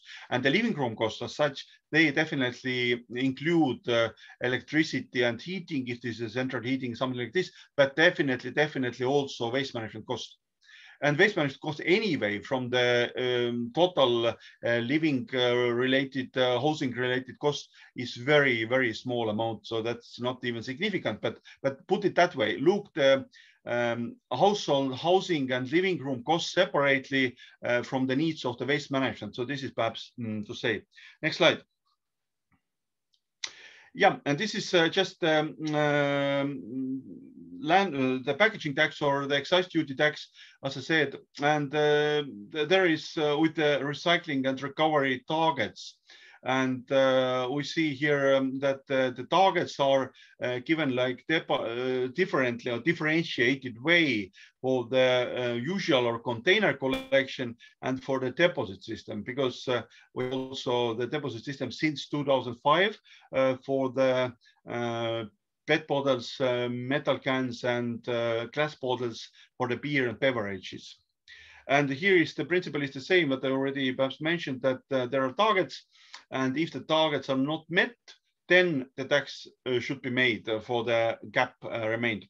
next slide. So now about the municipal waste. Um, and um, definitely um, one is um, um, who shall uh, or could um, uh, decide where it um, goes, how it is collected. And here is uh, in Estonia, uh, the approach is that this is uh, obligation of the municipalities. Municipalities are obliged to organize the, to organize a tender. And uh, the different companies, um, mostly private companies, who could and they participate on the on the tenders, and then the winner of the tender is contracted, and for the three years or up to five years period, uh, this company is um, really given a special right to collect the waste. And although the municipalities are not very often using it, but of course they have a power also to decide where exactly the waste is uh, delivered. Um, and um, there, the collection goes on the three uh, like uh, levels, so to say. Also, one is uh, definitely the basic is on the um, property, or or it is called also in English the door to door. Uh, but on the property. And uh, what is perhaps to emphasize, and I think that that might be difficult uh, for for the country like Bosnia and Herzegovina, where the background is a little bit different, but but still, I think that to consider that there are practically in Estonia no public uh, public uh, containers for the mixed municipal waste. So this is mixed municipal waste is always uh, the responsibility of the property owner. And of course, understandably, this is uh, not a big problem if we have uh, private houses or one family houses, let's say. But this is a big problem, problem if we have multi-storage houses, dwellings in the towns and cities. But at least, yes, in Estonia, as I said, that every dwelling house is uh, considered like uh, uh, separate um, um, legal entity. There are partnerships of the flat owners uh, or if it is might be today in some cases that there is a property owner um, uh, who is just renting them out and this is a target or targeted is just this owner company perhaps uh, of such a dwelling house anyway the property owner is obliged to install uh, the containers. This is not even an obligation of the municipality. And um, uh, municipality is setting the rules which uh, houses uh, have to have uh, containers and the mixed municipal waste so this is absolutely understandable there is nothing to say but uh, our approach has been that uh, for example the tallinn city's um, council uh, regulations said already that 2003 there should be um, paper and cardboard container uh, at the, every more or less every dwelling house and since 2007 there should be a bio waste container at every dwelling house with more than 10 flats uh, so this has been uh, the, the, approach also how to emphasize or how to develop this uh, source separation. Why I'm um, really uh, considering this important is that if the mixed municipal waste containers are, let's say, in the public room and they are not really linked to any particular property, that makes, I think, rather difficult to um, uh, to implement uh, the source separation. Because the, if the people have a simple option to just to deliver the mixed waste to uh, to the container somewhere in the streets, uh, how to motivate them really uh, to sort. So this is uh, just to consider. I'm not saying that it could not be, but um, on my opinion, it could be much uh, more difficult. Second level is uh, what do we have uh, is so-called public containers. And those are so far mostly packaging containers and today also containers for the clothing um, textile waste or, or, reusable items, perhaps not even yet the waste. Uh, plus in some uh, municipalities also for the paper and cardboard. And the uh, third layer is this uh, uh, recycling stations or, or public amenity sites or how to call them. They're, they're not so um, close often because in the countryside it could be up to 10, 15 kilometers in the local center somewhere in a small town usually. So it means that uh, this is a place where not every family, every person goes every day, perhaps not even every week. Uh, but many people definitely visit it uh, weekly or, or once, uh, once a month or something like this. But as I already um, mentioned uh, before, uh, this network of the public amenity sites is extremely important uh, to develop the source separation um, and uh, to uh, support waste management to, to, other ways. Next slide.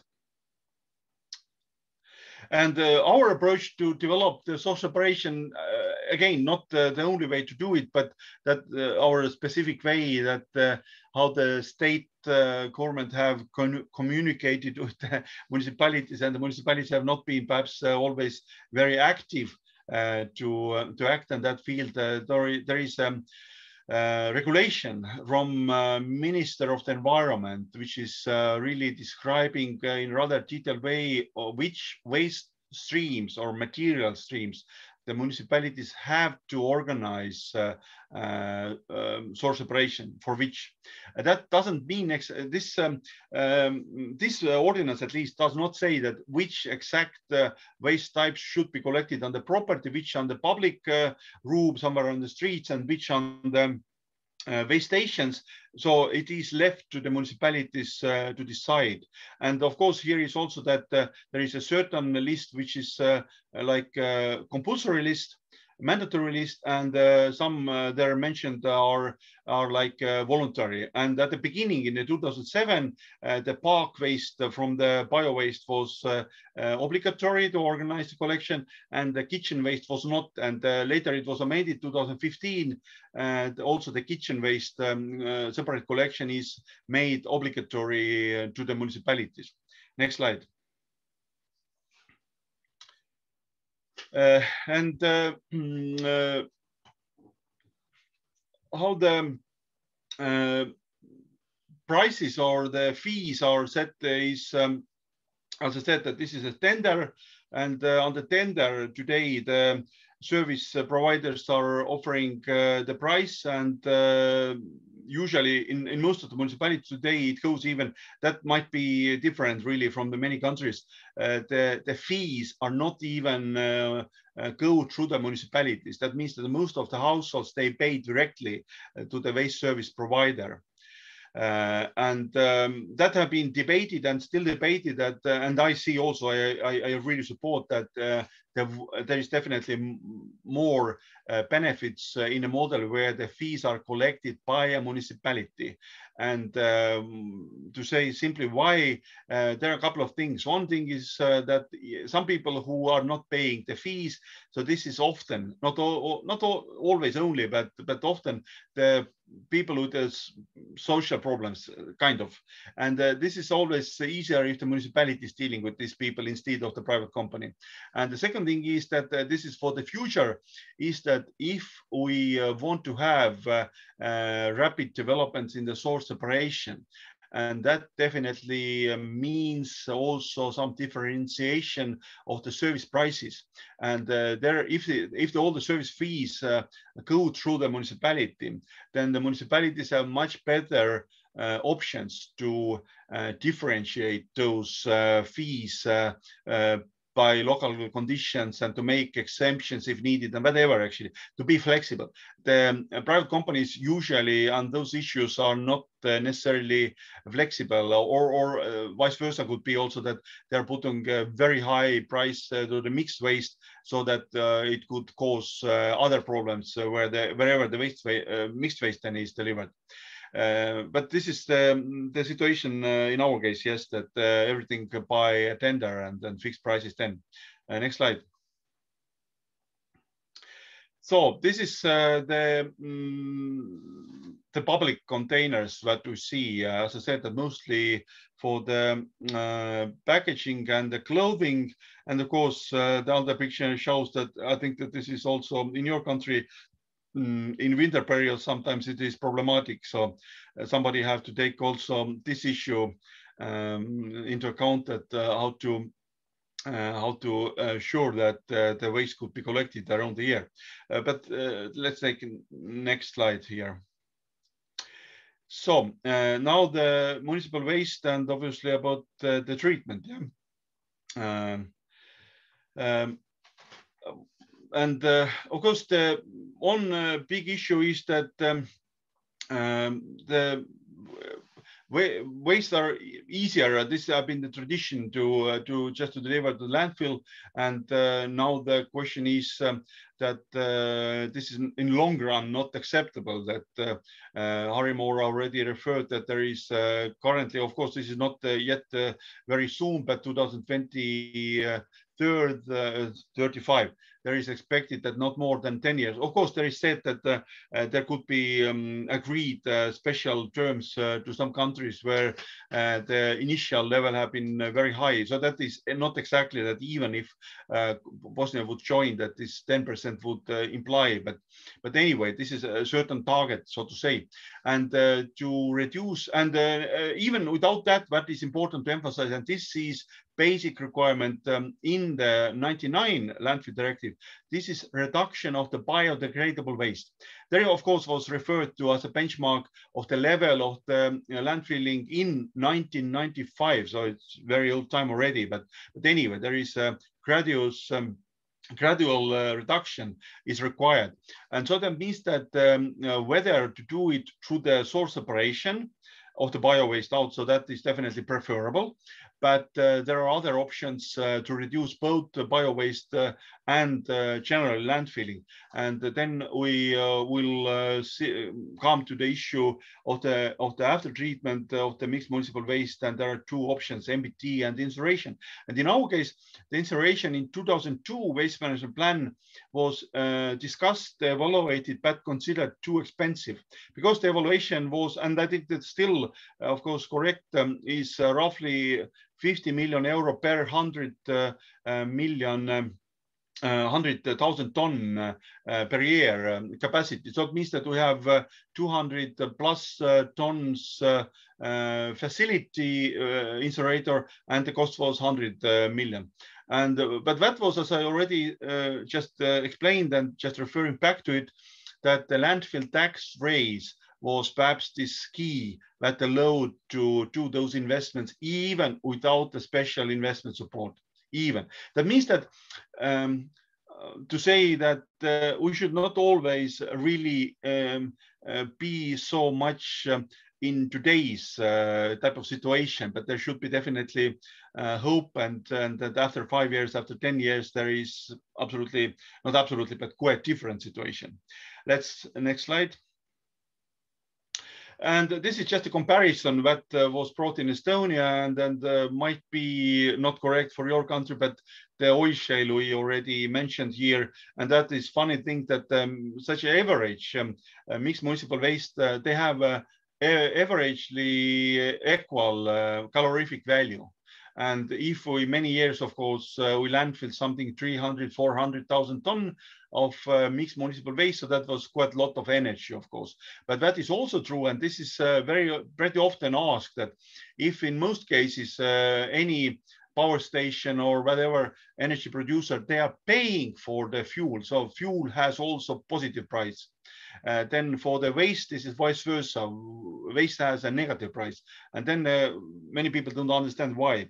Uh, but the explanation, or the basic explanation is that when it comes to the waste uh, incineration, producing energy out of waste, this is much more um, incentive um, investments uh, uh, needing uh, process and those investments should be covered also and that, that makes um, not possible uh, really. Although there are in some countries uh, also in denmark i think they say that it could be done uh, with a relatively low price but in most countries in europe i mean um, incineration prices are something like um, starting from 60 euro per ton perhaps uh, in, in our country, uh, when the installation started 2013, then the initial gate fee was something around 30 euro per ton. There was no tax, as I said.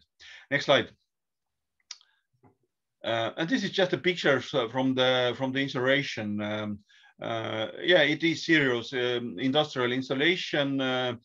Uh, uh, that's for sure. Uh, but what is positive of it is that uh, um, you get rid from the bio waste. Uh, there is no leachate issue, and as such, in the landfills there is no mm, landfill gas issue on the landfills after that, actually, uh, and so on. And uh, yeah, next slide. Let's take next slide.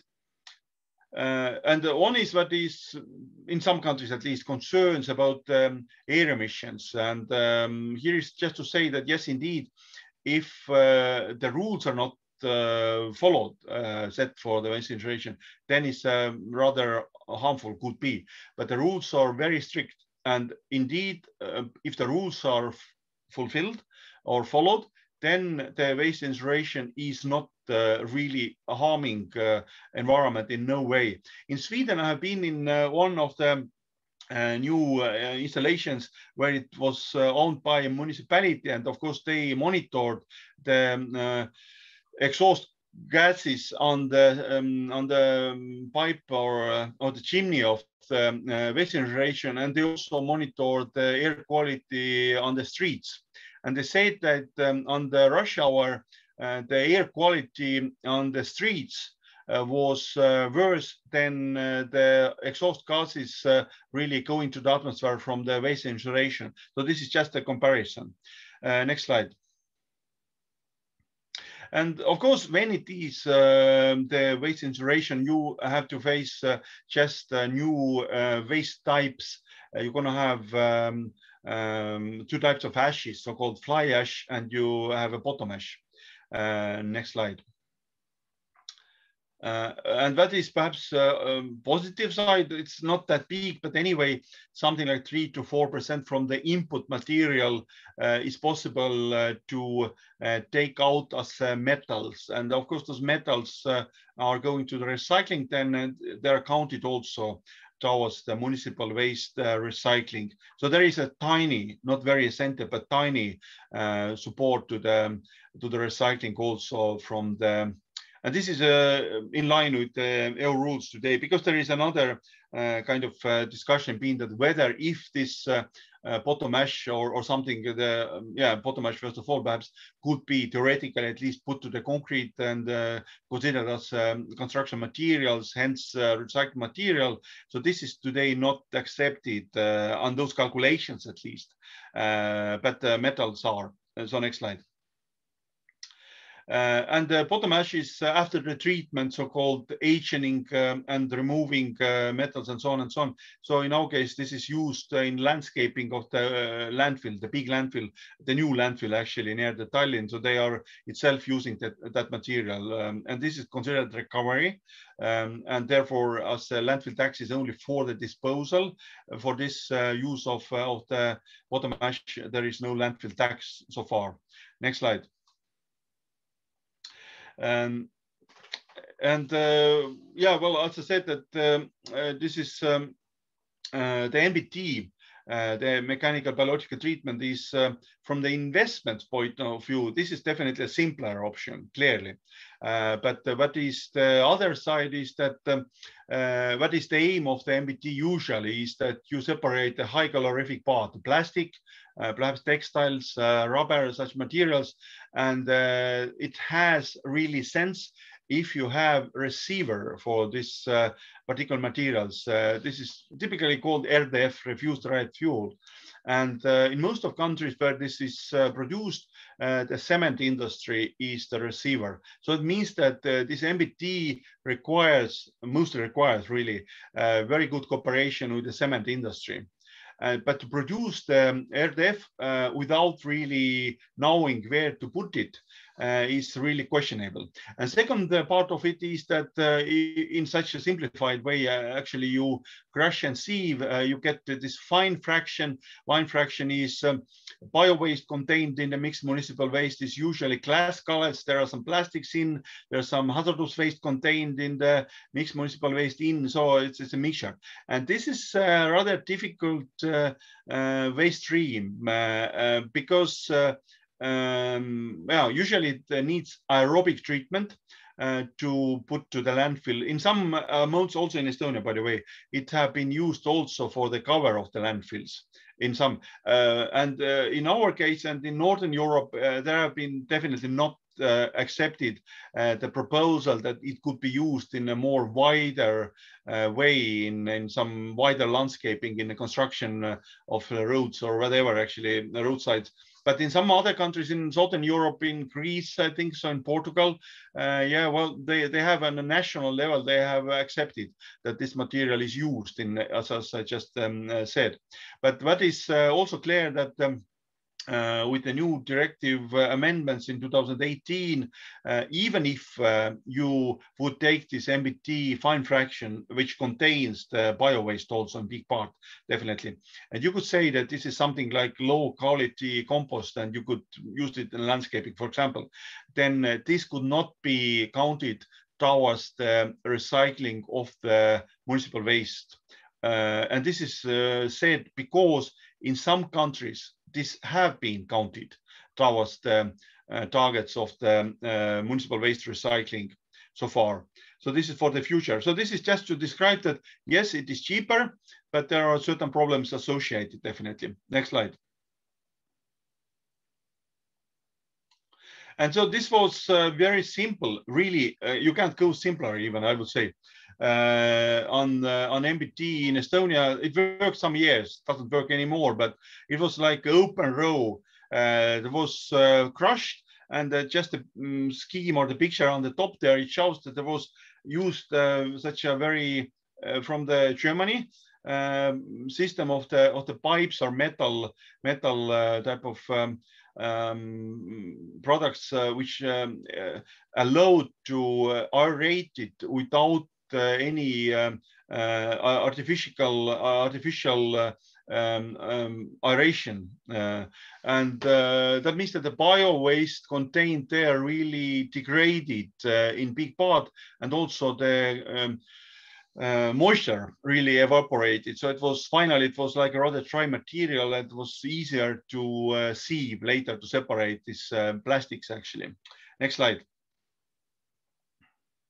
And uh, yeah, that was now in uh, in a couple of cases we have those MBT or those uh, RDF producing um, um uh, facilities today, but uh, uh, they they face this problem that our only cement factory was closed and there is practically nowhere to deliver it. So that's the problem. and usually if they are really this MBT type of sort, uh, is that you can get out uh, 40 to 50% RDF uh, from the uh, from the um, input material of this mixed municipal waste and something 40% um, perhaps uh, then it comes to this fine fraction that I already explained what it is and what the problems are. And then there, usually there is uh, some through through the moisture this is evaporating and you you will get the weight loss some 10 to 20 percent. So that's the uh, conclusion or, or summary. Next slide. And yeah, this is about the cement uh, facility that RDF means good cooperation with the cement uh, industry. That's absolutely clear. Next slide. Uh, and now to uh, say that uh, whether one is clearly better than another or could only one of them be implemented that first um, yeah well in, without no problem could be implemented on the same time in one country. No, no big problem. Also even in a small country like Estonia we have had them both and uh, this is not a problem. Incineration, definitely incinerator, so to say. So this is, uh, uh, I said, a big investment. So there is a big issue that who could be capable uh, making those investments. And second thing is definitely the uh, heating energy. Incinerator uh, has this problem that if you don't have the central heating system, which could really take this um, heat then uh, economically it would be very, very difficult, even perhaps possible to uh, to install it. So that's that's for sure. But uh, uh to compare and to say that one is better on the sense of the recycling, uh, that one uh, of those will give more for the recycling, there is no reason. Both can separate metals usually, and uh, in both cases, metals could be calculated towards the recycling, but that's more almost all. As I said, that this fine fraction from the MB, MBT, uh, at least uh, in after a couple of years, could not be anymore calculated towards the recycling targets. Uh, next slide. Yeah, this is, uh, I think so, what I also said that, uh, yeah, the, the certain discussion have been, but this is today not uh, very practical anymore, that if the RDF goes to the cement factory, there is usually some mineral part in, and this mineral part comes a part of the cement. And the discussions have been that whether this could also be calculated towards the recycling. But I think that the latest um, interpretation on this field from European Commission say that no, we, we want to keep this uh, simple and and not not even. Uh, yep, and um, let's take next slide. Let's go further. We have uh, Peter. Um, just to let you know, uh, we are way out of time. Yeah, therefore, um, I'm just uh, showing here that uh, our case was that how the landfilling came down from uh, 85 to even up to the 10 percent. Uh, so it is okay. It was let's say 13 years, 15 years, but just to show that it is really possible. Although in 2002 uh, waste management plan uh, that was considered like a little bit too expensive, not possible, and so on and so on. So I would like just to bring this example as to encourage that uh, the things are sometimes going faster than you can really expect and uh, don't lose faith in this. Uh, it is possible to get out from the landfilling system. And uh, well, this is just right now here. I stop it then because the time is over. Thank you. Um, uh, hvala gospodinu Peteru. Thank you, Mr. Peter. I think this presentation was very interesting. Although he uh, have time to finish everything, you have it in your chat window. You have the link that can take you to the presentation. There's been a lot of questions about some issues, some, uh, some things mentioned in the presentation, and we will try to answer them uh, in question and answer. I will ask Mr. Harri now uh, to see whether he wants to continue. I know that he only has three slides, or maybe to explain them in the discussion, or maybe to give to have the final word about the materials presented today. So as I understand, I have a chance to wrap up uh, our uh, presentations, right? Yes, yes. Yeah, well, all I would like to add, I already recognize that there are some questions concerning the incineration because I understand that uh, you, there is also plan to to build maybe uh, or invest into the municipal waste incineration and and from that point of view, the uh, the figures Peter showed in the last slide are very very good. You know, actually, this is mainly thanks to the incineration plant that we that the landfilling dropped below 10 percent. And there's definitely, although Peter was politically uh, maybe correct, not wanting to say what is better, the other one or the, the one or the other one, especially when it comes to incineration and MBT. But I would say, especially in bigger uh, cities such as Sarajevo or something like that, where you have really a, a, a, very wide or very let's say the central heating system is there. So that then then definitely when attaching the incinerator to already existing uh, power plant, uh, the costs of investments are low, and economically, most probably this is also quite uh, reasonable investment. And uh, this is definitely an approach which allows you to cut down the landfilling. But there has been lots of discussion also in Estonia you know, whether the incineration has uh, somehow uh, been negative for recycling, then the only thing that you have to really plan in the country is that not to invest or in,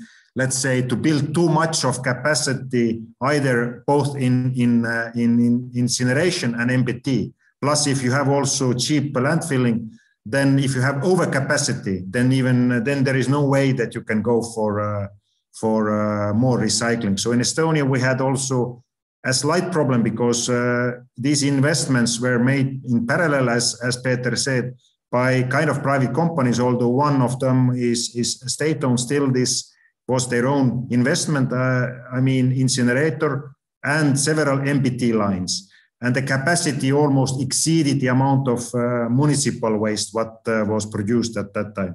Good thing is that the, the MBTs are now out of the uh, business and they are basically, basically not anymore functioning. And at the moment, the capacity for incineration is, is fine.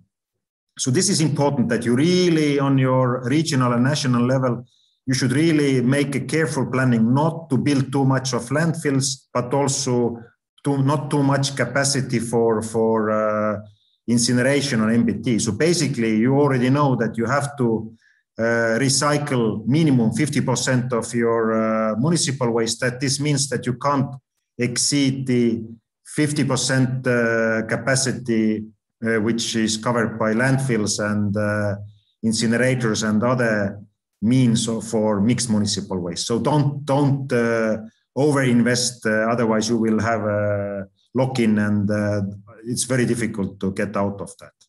But just uh, very briefly to wrap up, there are a few slides at the end of Peter's uh, presentation. Uh, they are basically just stressing what Peter has already said, that uh, it's very important to set up the legal framework, first of all.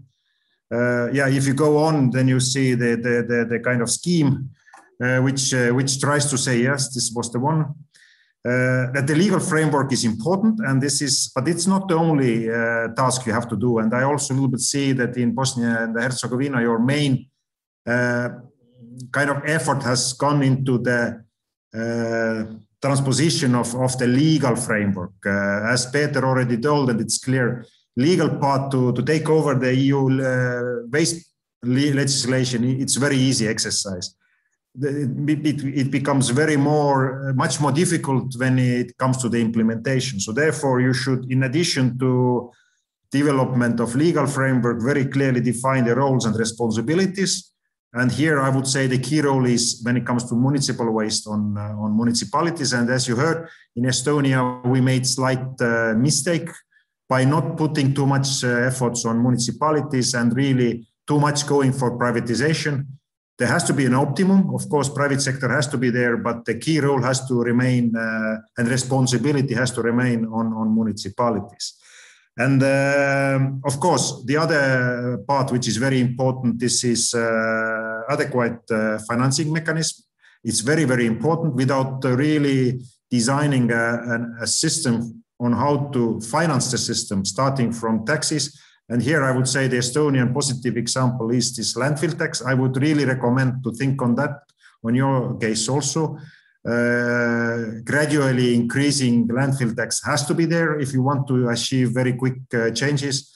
And this is also the source for, for, for uh, new uh, investments into the recycling and other more modern waste management uh, infrastructure uh, development. So this is important. And then also taxes for packaging. I would say this is important together with EPR system, which means that the other very important role is covered by the producer. So, and what Peter also tried to say, maybe not so clearly, try to establish the extended producer system in a way or pack it with legislation so that it is not really uh, let's say, occupied or taken by waste management companies again. So it has to be under the control of, of producers. So you have to develop the system in a way that producers really take the responsibility, that they control the system, the organization itself, and that they have a motivation to organize and set up a transparent system.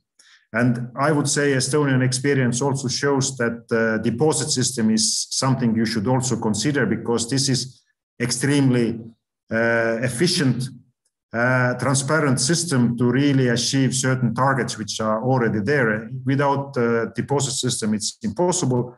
But when it comes to the deposit system, it's extremely important that this EPR organization is again under the control of producers, not some sort of uh, system which is a kind of useful tool for some businesses or waste management companies who know who, who knows who. This is the main thing I would like to stress here. Uh, of course, uh, the third pillar is this public awareness part, which is the basis anyway. But I would say uh, roles and responsibilities, uh, adequate uh, financing mechanism backed with strong legislation, and uh, of course, awareness raising in parallel this is the key and this is something you have to really take into account when developing your system in, in your country for the with this, I think I will uh, close my mouth. Uh, we have uh, only, I think, some minutes left for questions and answers, but let's let's take them as much as possible. Uh, uh, we are ready to take more time if needed, but uh, yeah, please. Hvala. Ja ću nastaviti na našem jeziku. Thank you. I will continue in uh, our language. Uh, indeed, we received a lot of questions, nearly 30 questions. Uh, on uh, in our Q&A box. Uh, we tried to group some of them into nine topics. So whatever we failed to answer, I discussed this with Draženko. We will uh, try to provide written answers uh, and uh, we will ask you to provide written answers we want to make sure that all uh, questions are answered. I will start with the deposit system. I think that was one of the first questions. Several participants asked different questions uh, in relation to this system, which is rather interesting for Bosnia and Herzegovina, as you also mentioned. And the question was, to which extent is the coverage what, uh, uh, to which extent was the coverage of uh, waste collection developed before introducing the deposit system? For what type of uh, uh, the packaging waste uh, the system was most developed uh, and uh, what was the contribution of the state in the whole procedure? Do you think, to which extent do you believe the deposit system is successful? Croatia is recycling 25%, Slovenia 50%, while they don't have the deposit system. They there is another participant who said that uh, they have deposit system for packaging waste, but uh, their balance is minus. So what is uh, the coverage uh, uh, with the waste collection system? What kind of uh, waste was collected mostly in this way? And what is the level of success compared to the countries which don't have this de deposit system in place and they give perhaps uh, Harri could answer this question or Peter Davar. I think we missed something. Um, there, there, were some questions or what was them because there were no uh, translation. Uh, okay, so the questions were related to deposit system. Uh, um, what was the level of uh, uh, uh, at the time when the deposit system uh, was introduced in terms of waste collection. Uh, what type of uh, uh, packaging waste was the mostly collected? what were the costs the country has related to establishment of deposit system? And uh, what is your opinion how successful this system is comparing to the countries where there is no uh, deposit system in place, uh, especially having in mind that in Croatia, for example, the system is in place, but um, uh, the country or the, the whole system has a big uh, expenses. So uh, it's, it's, in minus in terms of, of, of money.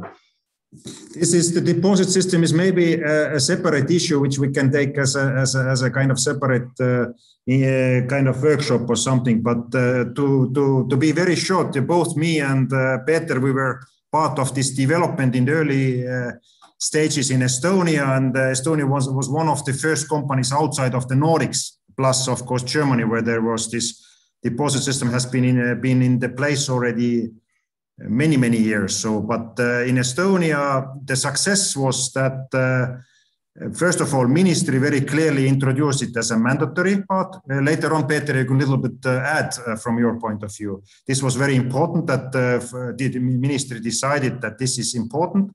It is introduced on beverage and low alcoholic drinks, as Peter already said, covering uh, plastic, uh, glass, and uh, metal, basically all the materials for, for this type of beverage containers, both one way and reusable ones. It's very important, I would like to stress here, that without deposit system, it's almost impossible to keep the reusable bottles in the system. And in Estonia, in Latvia, Lithuania, neighboring countries uh, were much more later. Now Lithuania has introduced also deposit system and Latvia is on the way. But just to compare Estonia, the share of re refillable bottles is much higher than in Latvia, Lithuania. And this is thanks to the deposit system. Mm -hmm. And uh, this investment was made by, by producers, mainly um, beverage and uh, low alcohol producers, uh, importers. Uh, there were no cost for, uh, for uh, the government at all.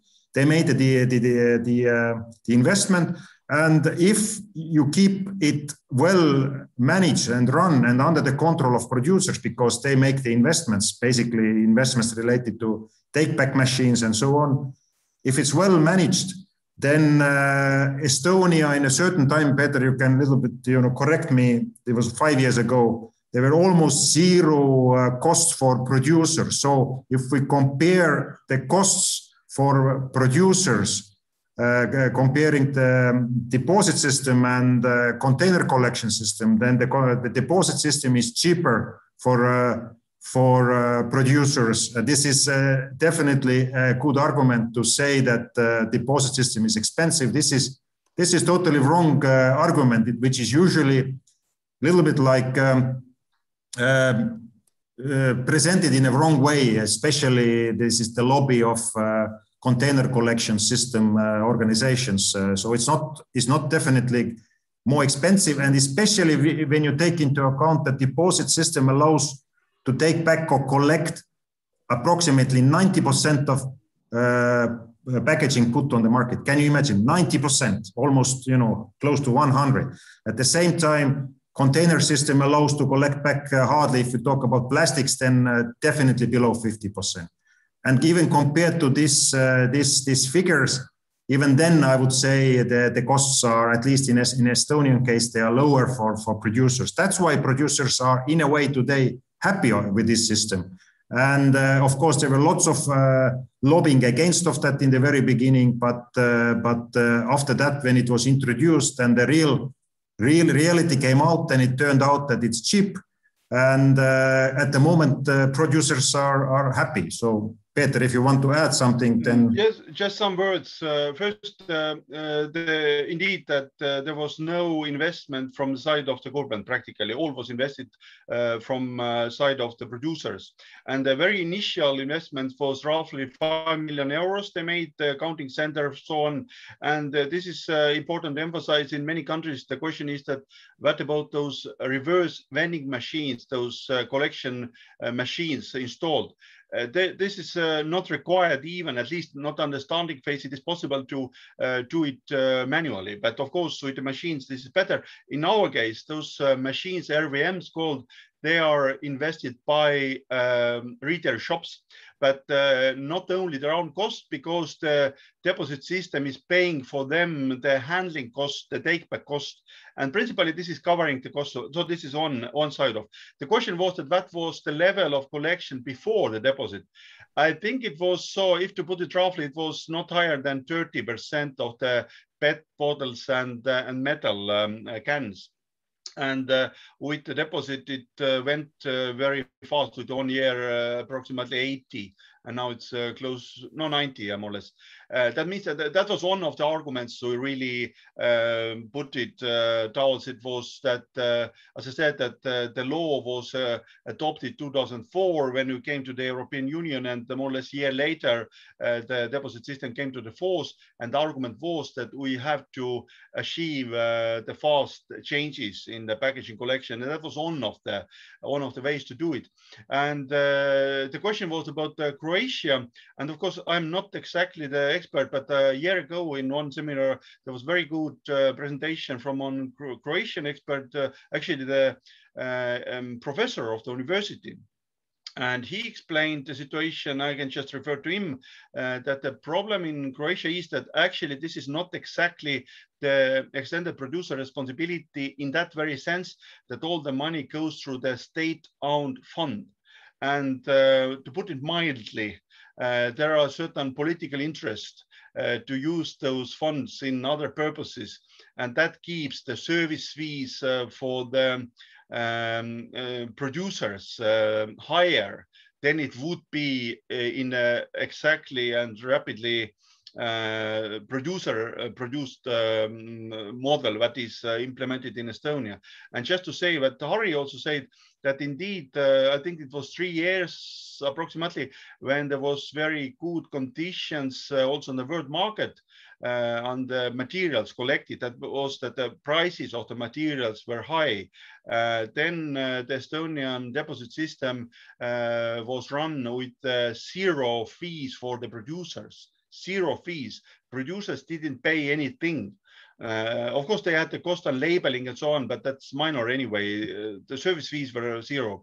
Uh, but this is exceptional. You, you, nobody could really take that. This is a kind of uh, long-lasting situation, and neither is in Estonia today. There are fees they pay again, but even if to compare those fees they pay, I would say that. Um, in some uh, uh, materials, uh, those are definitely cheaper than it would be in the container collection. And in some others, they're similar. I mean, on the, and then on the glass, it might be slightly higher, but the question is that they are also collecting it more effectively. They are collecting 90%. Okay, uh, thank you, uh, Peter. Uh, then uh, I will continue in English. Ja ću na engleskom jer očigledno prijevod radi ovaj, u jednom smjeru, da ne komplikujemo. Uh, I will continue in, English asking you questions. Uh, the next one about recycling. what kind of waste streams are mostly recycled in Estonia? What about hazardous waste? Do you have recovery capacities or you export it? If yes, where? Um, and uh, is Estonia exporting waste? Uh, how is this integrated in the reporting and targets? So yeah. maybe Peter again. Peter, I will take the first one and leave okay. the second uh, second uh, hazardous yeah. waste to you because, I, of course, we both would like to answer. But uh, in a way, when it comes to the source separation and recycling, and if we talk about municipal waste, then uh, as you already understood from the EU perspective, you know, uh, at the moment, uh, of course, it depends on municipalities. the bigger municipalities, and this is also based on this ordinance what Peter mentioned that the ministry has established that there are certain list of uh, mandatory uh, waste streams that have to be uh, collected. so in theory, basically all municipalities have to collect uh, all these major waste streams, starting, of course, in addition to mixed municipal waste, uh, uh, waste paper, packaging, bio waste, um, and then, of course, this is something which is usually collected uh, door to door. It's uh, in most of the municipalities, or at least in the process that that the organized waste management collection or waste collection should cover. In addition to mixed waste, there has to be a container for waste paper, uh, bio waste, and more and more there is a tendency that uh, then, but it's main no more more voluntary that also next to the, the door next to the houses there is packaging in the container. But the, as Peter said, the packaging is usually collected uh, via public uh, public containers. So this is the main set which uh, which uh, is under the which uh, is there in most of the municipalities, but still it has to be improved and especially enforced. What that we see at the moment that not all municipalities uh, would like to deal with that, so they they try to do it as minimums as, as possible and there are different different uh, exemption, ex, exemptions or exam, uh, they, they, have exempted, let's say, individual houses or, or some other houses. So it is still under the development, but this is the thumb of the rule that in the future, in addition uh, to uh, mixed waste, paper waste, bio waste next to the door and packaging, this is the minimum part.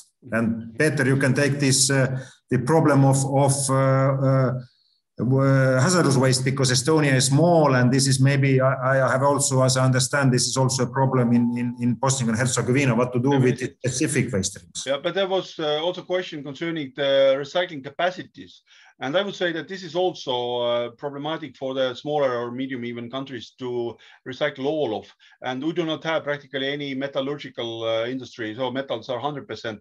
Uh, glass is, I mean, uh, half to half half is uh, recycled locally, half is uh, um, exported paper. Also, some perhaps 20 is locally recycled, 80% is delivered to the other countries.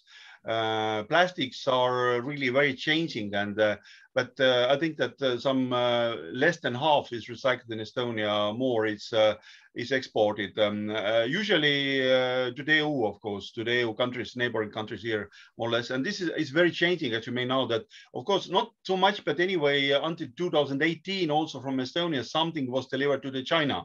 And China is not receiving anything anymore uh, like this. So this is a problem whether uh, there are deliveries to the other Asian countries. Uh, and now in the EU, it should be solved. So basically, this is the, and the second question was about hazardous waste. And hazardous waste, indeed, this is a very um, um, mixture of different waste streams, starting, for example, the batteries and uh, waste electronic, are, those are also. And the batteries are not treated in Estonia except the lead uh, acid batteries. Uh, we have a facility, definitely. And they are bringing in pretty much of uh, of uh, lead acid batteries from other countries, but but uh, other smaller batteries of whatever types of those are exported. Uh, we is treated partly in Estonia, partly exported to the other countries.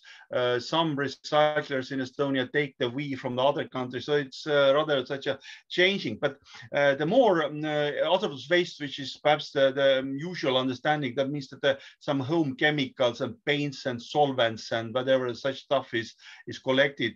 Uh, there are hazardous waste companies. This is a very well established for today uh, private companies network dealing, offering services and collection and everything. And then uh, what is burnable is burned Uh, there is one, uh, as I said, that it was earlier, it was uh, sent to the cement uh, kiln also pretty much of. Today, this is a part of the problem, but still we have one private company in Tartu. They are incinerating some 2000 tons, I think so. Uh, there is one very delicate hazardous waste type is medical waste coming from the hospitals containing the human tissues or something. So this is also, mm, let's say, incinerated in this special incinerator. Uh, and if something needs to be finally landfilled, uh, then there is uh, also specially designated hazardous waste landfill. There is treatment options, the physical chemical treatment that is needs to be solidified uh, uh, to the firm uh, type of concrete-like. This is not exactly the concrete, but concrete-like model, um, and then it will, will be landfill. But if needed, and that happens definitely, then is also exported to the other countries. In our case, it's usually Finland, Sweden, Germany, perhaps such countries. Maybe just to add, Peter, uh, uh, but in the very beginning, states still invested into the first capacity for hazardous waste treatment. This, the first major investments were made by, by the state, and then later on they were rented to private companies, and now private companies are more and more investing themselves, right? Yeah. This is more like That's that's if right. The, look- the, the, the very, very basic network was first like uh, established by a state. uh, This is true, but later on it have been even privatized. Uh, several of those uh, collection centers. It's more like in private hands today. Uh, and this is what I said that we are really using, if needed, uh, the services provided by Finland, Sweden, Germany. So it have been all the time. For example, such a very, very serious issue, and I don't know whether it have been so in Bosnia Herzegovina. That is the old pesticides because uh, as we regained our independence in 1991 there we had also this collective farm system in estonia and every collective farm had some uh, storages of the old pesticides and in the end of 90s it all was uh, first mapped and uh, registered and then cleaned up those sites. And there was roughly 600 700 tons of uh, old pesticides. And most of them were also finally uh, sent to finland and and uh, Germany, I think so, for the um, treatment incineration mostly. And some remained in Estonia, for example, the mercury containing waste, because no incinerator, even a designated hazardous waste incinerator, they don't really accept anything that contains in a higher concentrations mercury. So that remained in Estonia, that was solidified and put to the specially designated hazardous waste landfill. Uh, thank you very much. Uh, we have uh, more questions. Of course, uh, we will extend a little bit of seminar for 10 minutes if everybody agrees. Uh, the next set of questions is regarded to cost of services. Basically, the question was, uh, what is the price of a landfilling uh, now in Estonia? I think there was in one of your slides about up to 70 euros. Yeah. Uh, did you uh, did you gradually increase this price, uh, and uh, how this impacted the price for the citizens uh, collection and and disposal of, of that the citizens paid? How how this impacted uh, the, this this tariff actually? Yeah, very good question. Uh, actually, as I also, indeed, it was in my slides that uh, in 2001 it was not more than 10%. Then somewhere in the mid 2000s, uh, 2010, then it was some 40, uh, 30, 40 euro, and now it is some 70 to 90 roughly. And uh, state have not really influenced those uh, prices. The landfills itself have come to this. The influence to the um, to the service prices to the households it have uh, been, of course, but not very, uh, I would say, um, essential because uh, there are other component, uh, uh, the cost component, definitely the transport collection and so on. But uh, average, if to put it in average, I think that average is something around five euro per household per month. Uh, but in uh, in many cases, especially the families living in their own family houses, uh, and uh, they are sorting out usually the bio waste and composting in a garden, and and if the people are sorting out the packages and uh, delivering them to the packaging container, means that they have very few also um, mixed municipal waste. I think in many places the the average monthly fee could be only two three euros per per month.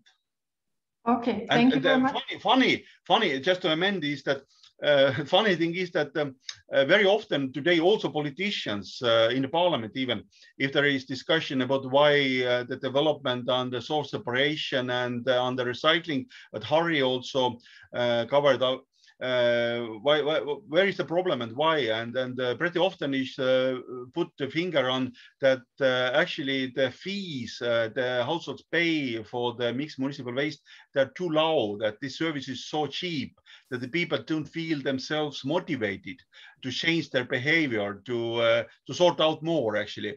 And, and therefore many people suggest that we have to do something to make namely not the waste management as total, but namely the mixed municipal waste more expensive.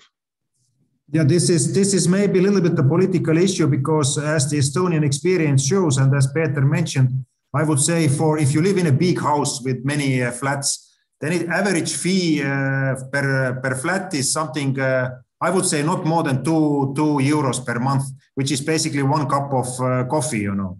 And uh, but at the same time, this is very heated discussion on local level, especially before elections or something like that. Somehow people tend to take this as a very significant uh, uh, sum, uh, and there's a lots of uh, discussion, debate, and politicians are afraid to increase this fee. Uh, and this is one of the reasons why our uh, municipal waste management system is in a way stuck because nobody is willing to increase this fee, although it's very low, and we, we have made several examples by showing that the total communal uh, cost for one land, uh, one household is could be several hundred euros, including energy, heating, and everything. So the waste part of this communal cost is uh, below five percent. So it's ridiculously low compared to the other communal costs. And uh, but at the same time, on the political level, it's always an issue. Always local politicians tend to bring it up, up as, as a problem, so to say. But I would say that this is not really very high at the moment. That has to be increased definitely in the future. Okay, thank you very much. Uh, the next set of questions is related to landfill closure. Um, the question was uh, how much time uh, and money you needed to close all unsanitary or uncontrolled uh, uh municipal landfill, uh, and did you actually close all of them in Estonia? Um, uh, does the landfills that are closed have already have secured financial guarantees and supervision for the next 30 years? Um, and how did you actually uh, prevent uh, to uh, prevent the people to create uh, dumping sites uh, uh, in situation when you started applying this landfilling tax? and whether there were some um, negative feeling from the from the municipal side when this landfill tax and closure of municipal uh, landfill was taking uh, place.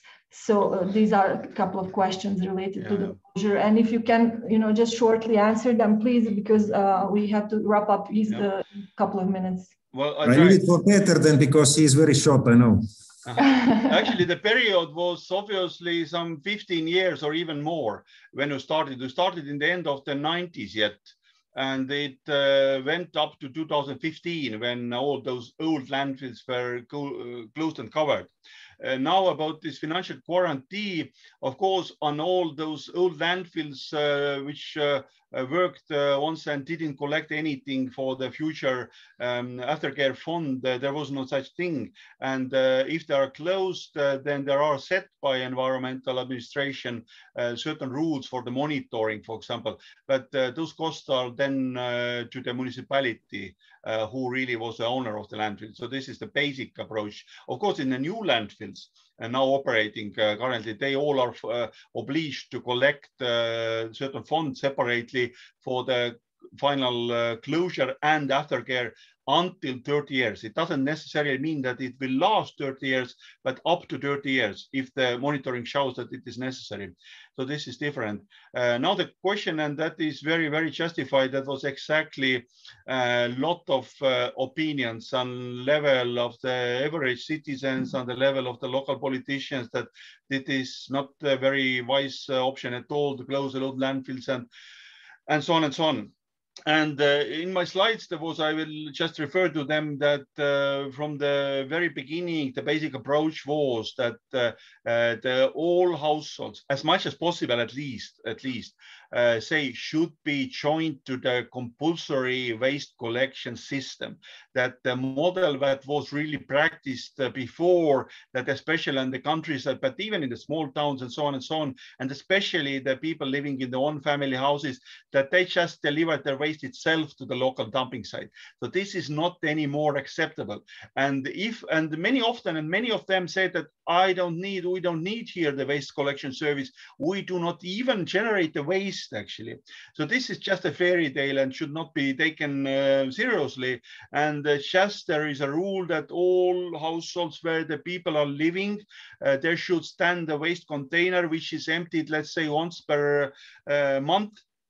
And uh, the uh, the owner of the property or the house uh, has to pay this bill. Would it be two euro or three euro, whatever, actually. So this is to make clear for the people that this is a service and this is, uh, if somebody would like or does not like, this is compulsory service. And you are expected to put the waste into the container. And even if you are not doing, you are still charged. So this is the basic approach to type of uh, to make clear that uh, no, you are generating the waste. Everybody is generating the waste, and uh, we collect it. And we, I mean, as a society, as a municipality, as a state, we do not accept that you are dealing with your waste itself because in most cases this is uh, uh, not in line with the requirements of the law. So, the, uh, but the, the um, um, landfill tax influence in that very sense it haven't really um, influenced um, uh, the prices, the service prices that the average families pay uh, so rapidly. So um, practically, there's no reason to say that there was like a clear um, type of um, behavior or change in the people that now you raise the landfill tax, now we're gonna not more pay, and I'm gonna really deliver the waste to the to the pushes actually. Uh, well, that is perhaps the summary. Okay. Yeah, just just few few clarifications. Yes, the key was that uh, municipalities were forced to form uh, a register of local uh, property owners, and they automatically were then uh, linked to the uh, service system. So even in the very beginning, some of them they said, "No, we are we are not going to put any container out there because you know we don't care about this service." But then they started to get bills and then they recognized that there's no sense. And they, of course, in the very beginning took them to the courts and lots of hassle. But then they understood that it's easier to pay the bill and put the container. And then it took away the motivation to take this waste into the, you know, littering somewhere just to dump it somewhere. This was the key. And uh, it took some years uh, to introduce it. But after that, it started to work at least the minimum uh, one container for mixed municipal waste then this pressure for uh, littering and dumping was taken away. Uh, thank you very much. Uh, there are a lot of questions regarding the incineration, especially because Canton Sarajevo is examining the possibility of procuring a cogeneration plant. Uh, maybe I will just ask uh, two questions and then I will uh, finalize this uh, Q&A session and ask you to, if possible, to provide answers in written for the rest of the questions. And Draženko is also having something to ask and uh, uh, to, to wrap up. So regarding the, the, the incineration, the question was, what were recycling and landfilling rates in Estonia before introduction, introduction of incineration and how these rates changed to date? Uh, I think these answers are on the slides, but if you can just in short. And um, since uh, EU for recycling is expecting the stricter targets, what is the future of incineration in Estonia? What, what are the, the perspectives?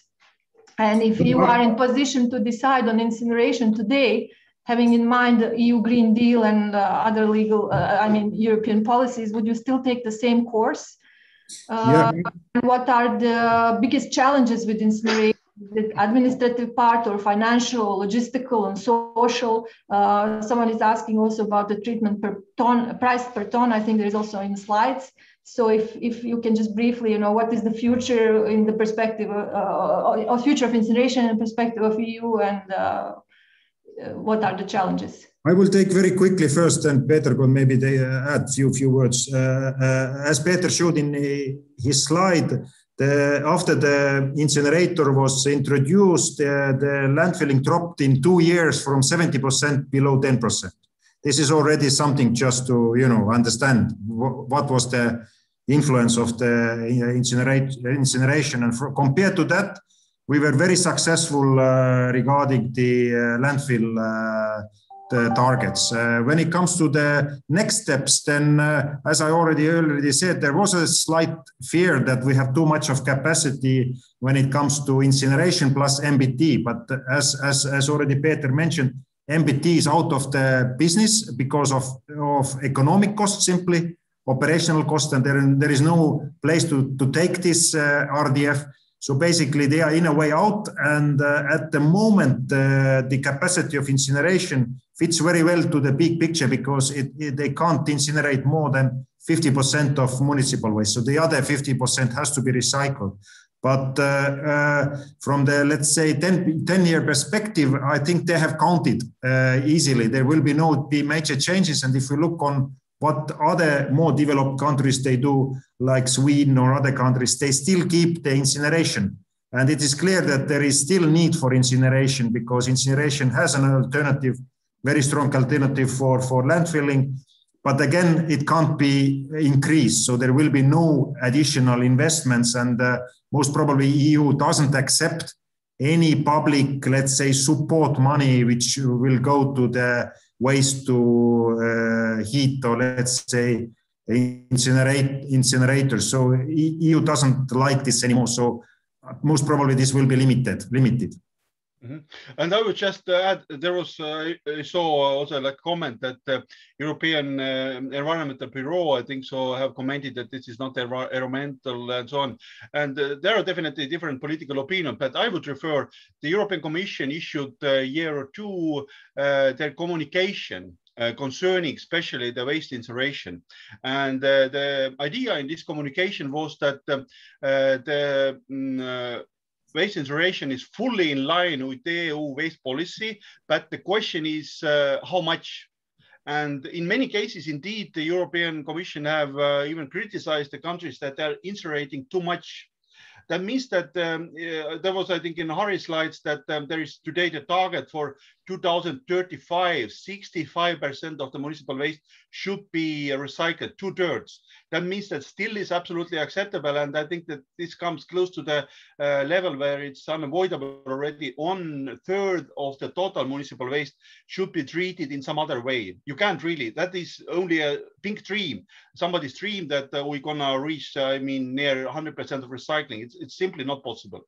And, and this one third in long term is absolutely acceptable uh, to incinerate and uh, even in some materials for example take a paper or take some plastics uh, where uh, this um, mechanical recycling could not really be held up too many rounds. It's a rather limited number. And therefore, it's absolutely unavoidable even that part of the low quality paper and low quality plastics are really removed from the circulation.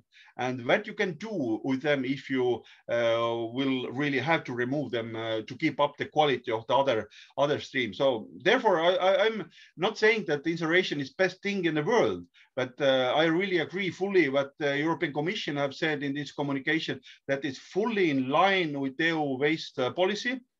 And it is absolutely without any doubts preferable to the landfilling. So this is important to emphasize because very often it is I, I really see that, that, those who are opposing uh, um, really incineration, they are not like agreeing that uh, that means actually that you say that uh, even if those wastes are going to the landfills, so this is more acceptable.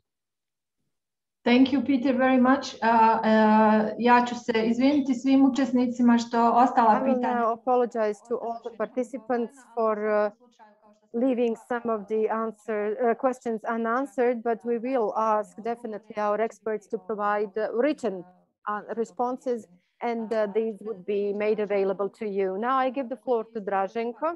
He also wanted to ask a couple of questions and then I will close this meeting. Before we close the webinar, I have uh, two questions and they are related to the title of this uh, webinar.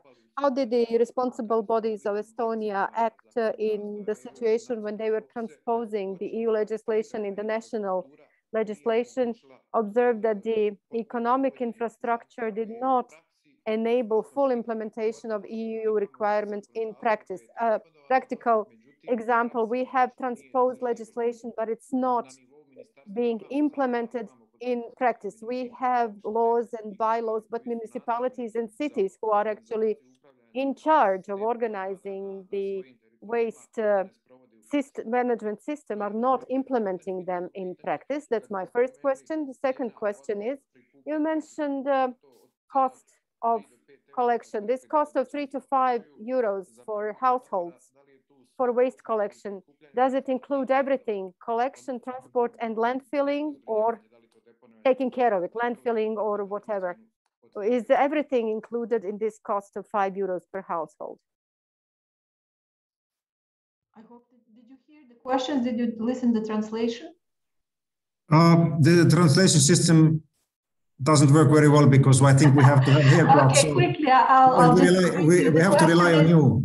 Uh, once you tra transpose the directives, uh, what were the challenges? I mean, how did you overcome the challenge of, uh, for example, infrastructure, lack of infrastructure, in case when you don't have infrastructure to respond to the requirements of the EU, uh, of the EU legislation? Uh, how did you overcome that? And uh, for example, the co communal enterprises, which are you know even understaffed or have old equipment, etc., that they cannot respond to the challenges that are set in the directives. And the second question was about the price of services, which you said is three to five euros. Uh, is this in, uh, is this uh, does this include uh, uh, collection, transport, and disposal? Is it possible to cover the costs with such yeah. small prices? Yeah. Just uh, shortly about the infrastructure, very justified question. And in my slides also, I brought up and emphasized the importance of the waste management planning and uh, namely on the national level, and I think in your case also um, on the um, uh, let's say um, uh, federation subjects level, it is important to do really very detailed base management planning.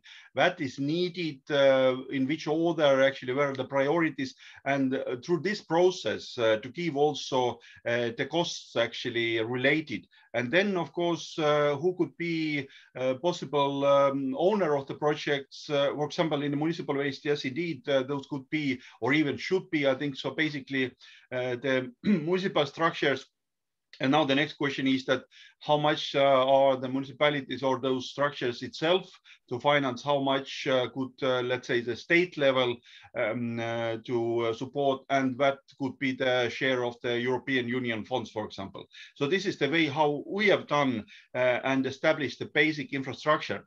And now the next thing is that I would also emphasize is the role of the private um, private companies. Uh, perhaps we are um, example that uh, uh, from one side it have been very successful because the private companies have a very big role indeed in the especially in the packaging collection and and so on but not only and also even um, let's say municipal waste pretty often it is given to the private companies that they're dealing it and that means that in in such a case not all uh, investments should necessarily be done by uh, public authorities, but something could be easily be left uh, to the if the if there are companies of course the, that means that there should be a certain uh, legal environment to allow them to come to the market and to allow and, and so on. Perhaps this but of course uh, i also uh, consider that in the long run, it could be a very good idea to have at least a basic infrastructure on the municipal waste, uh, on the public hands, uh, uh to avoid over investments and uh, struggle and, and so on and so on, and control lower also. And that is a good concept, uh, obviously, but that doesn't really necessarily mean that even the collection should necessarily be done by uh, public companies, uh, not to mention uh, recycling. And recycling could be easily and even preferable. Uh, there would be a role of the private companies. Just to add a few, few words, yes, Estonia is a good example. Uh, maybe not to really follow when it comes to too heavy privatization. As, as we several times already said, we uh, municipalities gave away everything and now and this is one of the reasons uh, since there is also competition why this fee is relatively low when it comes to this type of uh, municipal waste collection But at the moment, this is also one of these obstacles, barriers, why the system is not anymore developing. If the private sector provides you the service, especially under the uh, under the competition, then they keep the fees low, but they are not really willing to invest into the improvement. And we clearly see in, in Estonia that the private sector has, in a way, stopped the investments, and now again municipalities have to come in, especially when it comes to let's say, bio-waste uh, collection and recycling, because this is not uh, economically uh, profitable business. Um, the, the, and there, let's say also there are several other streams like textiles and, and other problematic waste streams that have to be collected now and re recycled. And there's clearly, you can clearly see that uh, that private sector is not willing to do big investments anymore into that. So there is really a time to take uh, again, municipalities have to do this themselves. And that's why we, we will see that the cost for uh, local residents will, will increase. Uh, at, but, uh, but, but at the moment, I would say, yes, in Estonia, this fee is relatively low. It is possible to do it if you do it efficiently. And then if you want to do it efficiently in a way, in a certain amount, you have to involve private sector. Mm -hmm. mm. But perhaps I would uh, add this uh, also that to, to emphasize the importance uh, um, in the waste management context to find the links to the other sectors. And uh, just one example, one of many, uh, would be the bio waste. Uh, and uh, yes, indeed, uh, it should be separately collected, that's for sure. Secondly, now you have two options, whether you compost it or whether you could really uh, produce a biogas out of it. And the biogas production in many countries, I mean, in the Nordic countries, for example, is uh, rather not yet in Estonia exactly that way, but uh, I hope it goes that way. Uh, there are uh, like a big uh, or even medium, perhaps sometimes um, um, agricultural companies who are really having uh, cows or whatever actually. Uh, and uh, then they have um, often different problems with the manure. And one of the technical solutions to manage the odor and, and whatever problems related to the this um, manure is to put it to the biogas. And we have in Estonia some five, six rather big installations uh, really um, producing biogas in that uh, way. And what is not yet uh, in the place is to um, organize the pre-treatment of the source separated waste and to send this uh, uh, such a pre-treated uh, bio-waste to the biogas. And this is exactly the case that uh, they are doing in Nordic countries and Germany in, in many cases actually. So, so why I'm emphasizing it is that uh, this is typically not nothing to do with the municipalities. This is a private uh, companies, and this is clearly also the green energy because among of other many many requirements the EU has, there are also requirements on the energy market. And I don't know really how it looks in Bosnia Herzegovina right now, but it could be one of the way to develop the biogas production and to this biogas production also to offer part of the solution for the bio waste handling.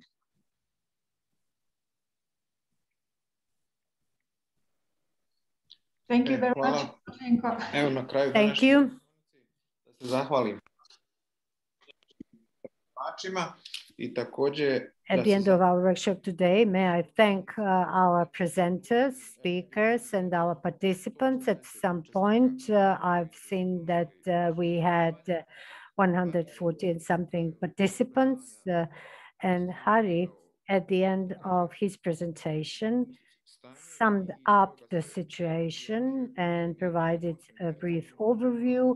A lot of that can be applied in Bosnia and Herzegovina. And what we've seen today clearly shows that we have to start uh, with a separate collection, with separation at source.